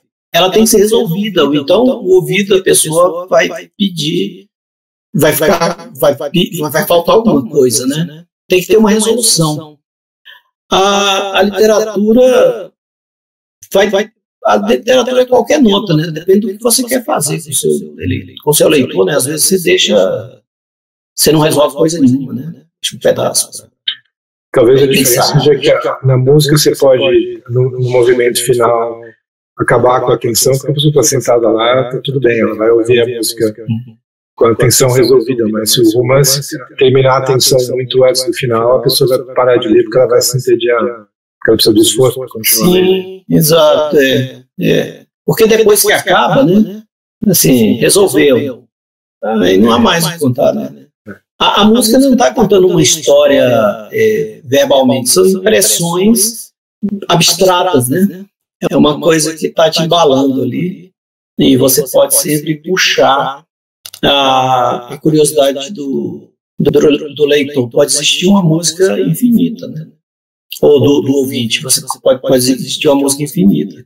E, e tem coisas que Bach fazia que, que outros não recomendam, que, que as, as cartilhas dizem assim, olha, você não pode repetir uma sétima três vezes, porque isso é, vai incomodar o ouvinte. Exceto Bach que fez isso nessa, nessa. Então quem pode, pode, né? É, o que o Fernando Pessoa fala, né? É, obedeça a gramática quem não sabe mandar nas suas expressões, né? Sirva-se dela é quem sabe mandar nas suas expressões. Né? É, é a hora que você vê o tamanho do autor, né? Agora, o, o importante é, é produzir, né? Para ver o que vai sobrar depois. Cara, é, sabe quem é o Carlos Nadalim, né? Sim. Que agora está É Brasil. secretário de alfabetização, né? Uhum. Ele me disse lá, lá na casa do Olavo, nos Estados Unidos, que a gente apreende o ritmo pelo quadril. Ele tava, ele é um livro que ele estava lendo de um estudioso de música, Aham. que a criança que brinca, brinca é, nas brincadeiras dela, tem movimento de quadril, ela, ela vai ter uma noção melhor do ritmo. Então ele fala quem faz dança quando é criança, quem faz artes marciais quando é criança. Ele falou para mim, ah, você tem um ritmo na sua, na sua, na sua escrita, você fez alguma coisa quando é criança? Eu falei, fiz karatê, ele, ah, é, você tem sempre que encaixar o quadril, aquela coisa. Você movimentou o quadril de, Uhum. de uma maneira assim, você apreende o ritmo. é, que é ali que você marca fisiologicamente o ritmo no quadril. Eu queria perguntar para vocês, vocês acham que a Anitta conseguiria escrever um, romance? a Shakira, né? Eu, eu mesmo, eu tava ouvindo isso aí, tentando colocar aí. Eu não, não, não tenho nada a ver com isso, né? Eu sou tímido corporal, não tenho, é tímido corporal. nada com o meu, com meu quadril ou com o que é que seja, não. Tímido corporal, a pessoa que não é tímida, mas o corpo dela é. É, é eu acho que.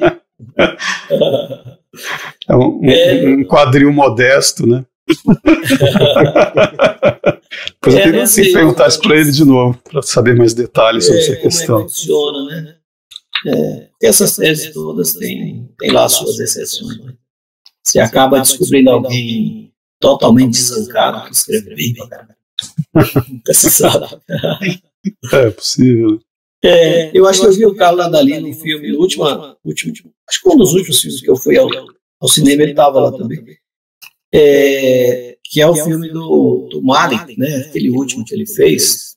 A gente falou mal do, do, da Árvore da Vida aqui da última vez. E, e, eu me lembrei que aquele último que ele fez é do cara lá que não tem pra guerra. No podcast perdido, né? É, no podcast perdido. Como é o nome do filme? É o último filme do Malik, eu acho. Não sei se ele fez outra coisa. Aquilo é maravilhoso. Adorei aquele filme. Especialmente porque a música é grandiosa. Né? Então eu vi no cinema, foi perfeito. Aquela coisa enorme.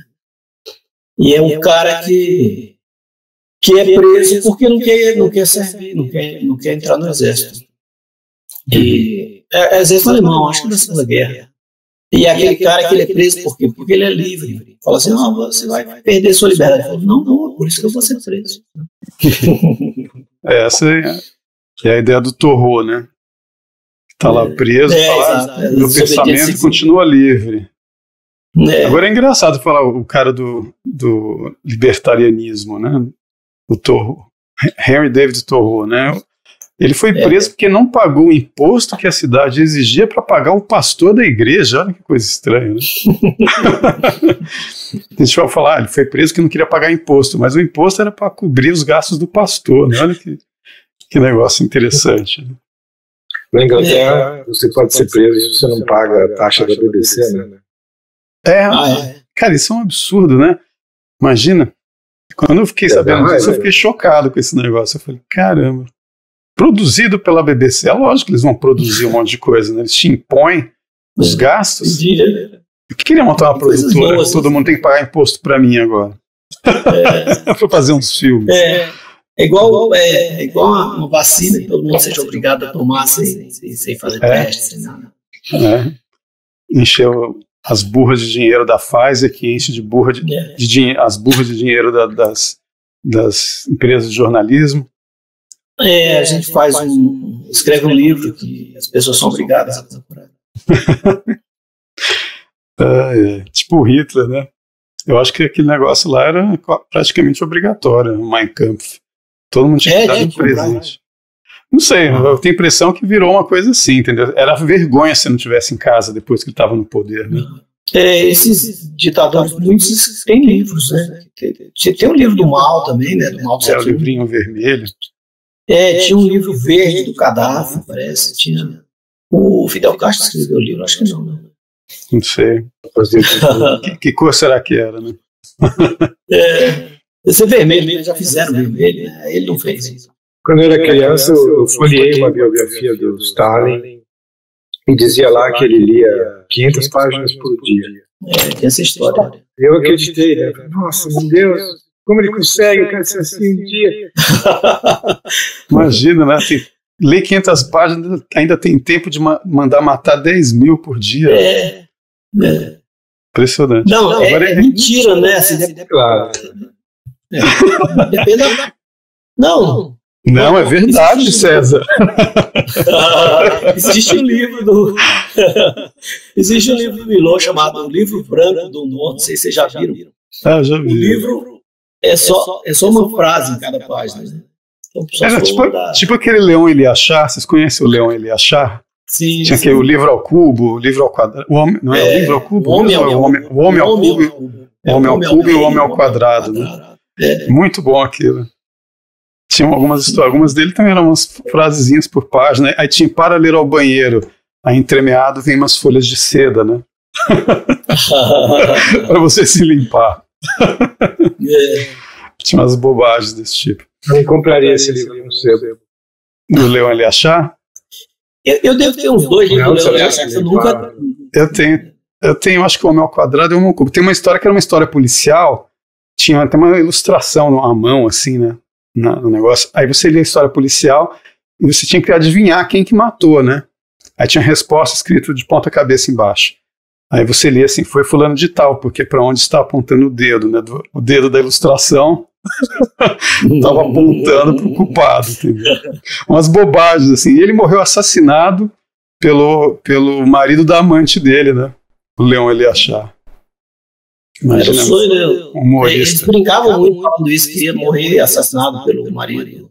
Ele, ele brincava com isso? Não, não, não, muitos deles falavam, eu, tenho, eu queria morrer com é, assassinado pelo marido da, da mulher que eu estava na cama, é, meu aos, aos 90 anos, dentro do, Hum. do armário, coisa assim, né?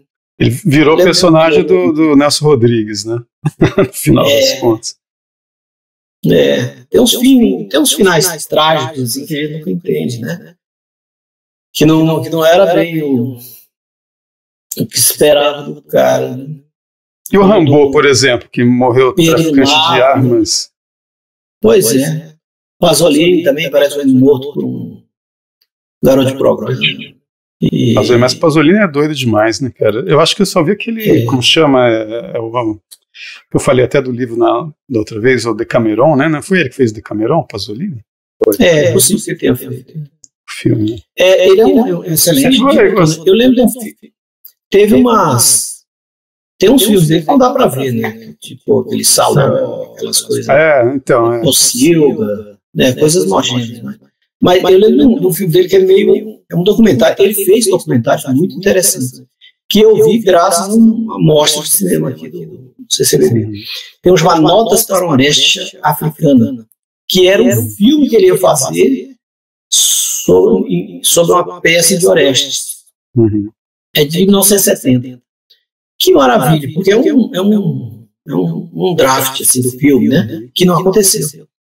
É muito É, porque, o, porque Oreste é uma, é uma trilogia do Oeste, Uhum, é. que é Agamenon, é, as Eumênides. Ele ia fazer baseado na. na Era, era, era uma coisa assim. É, O- é uma história ele- muito maluca, né, essa, essa Oreste.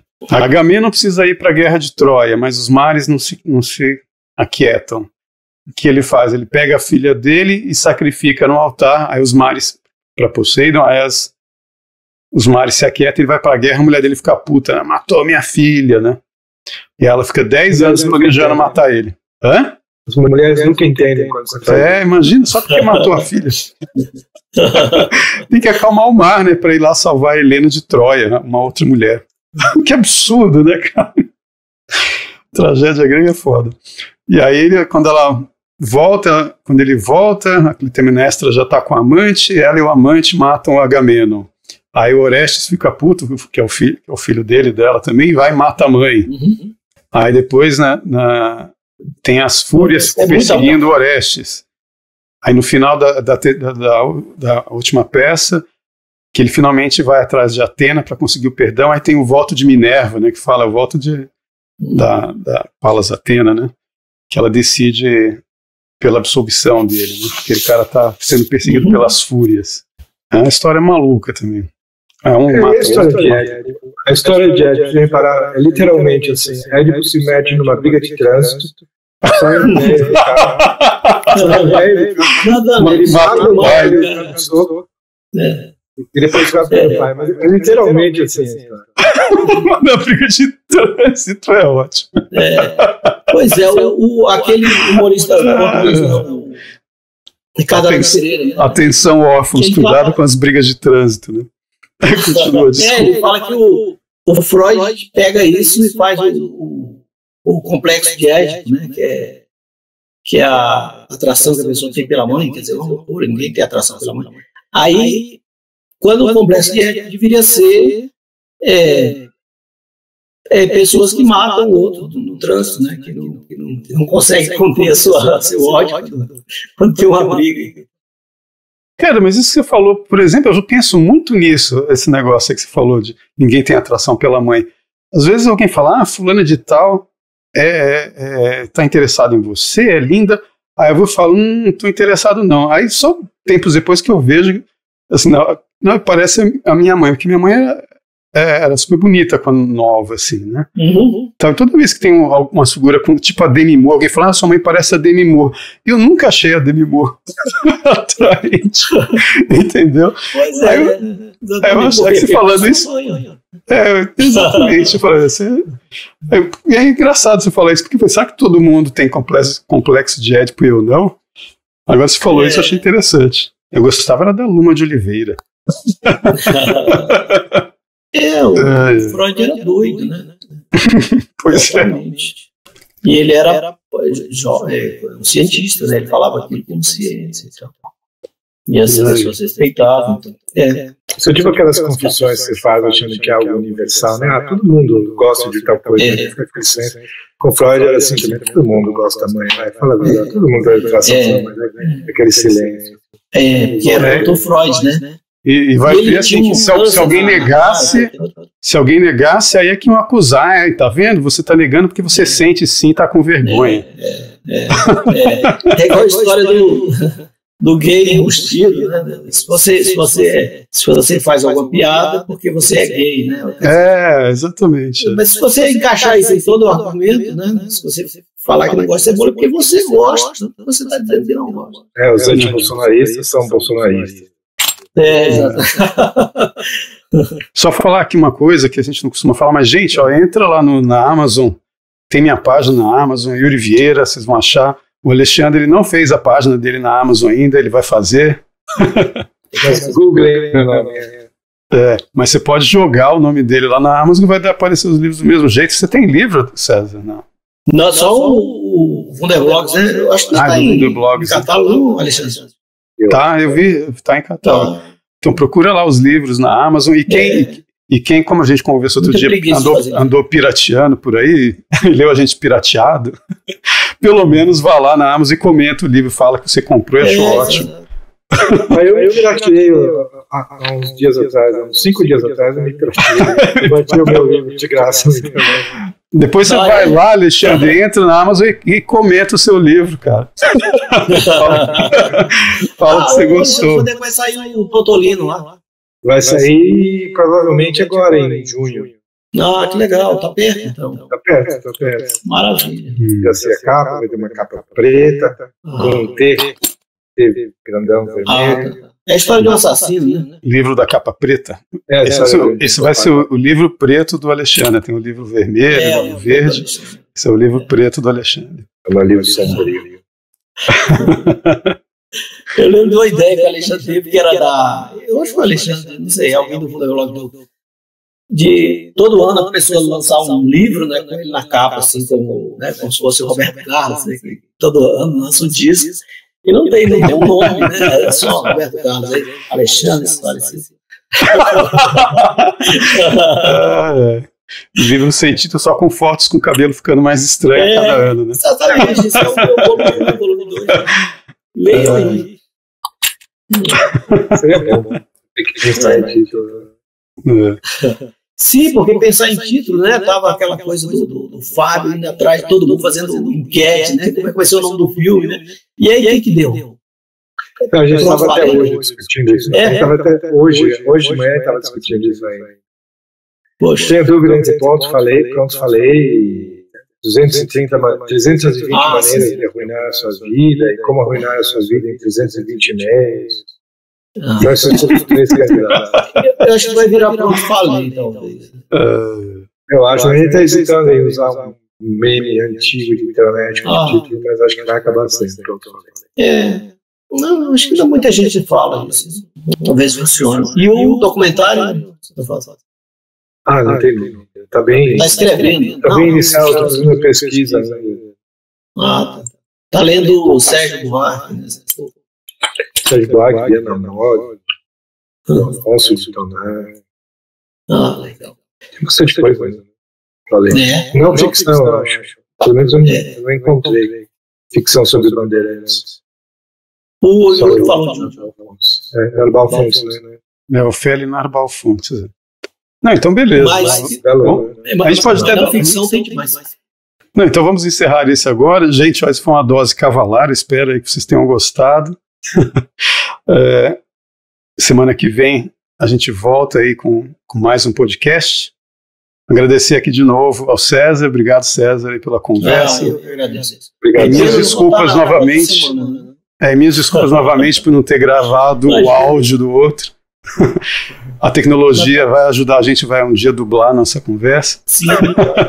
e, e as pessoas não terão perdido nada, porque a gente não falou quase nada que falou É, a gente, é, a gente, a gente não falou nada, né, do, praticamente. Né? Quer dizer, é, algumas coisinhas. conversando, né, que é, é, ótimo, não tem nada. É. Faltou cerveja. Beleza, obrigado aí, Alexandre, também. Obrigado. Aí a gente volta de novo, gente, ó. Um abração e até a próxima aí.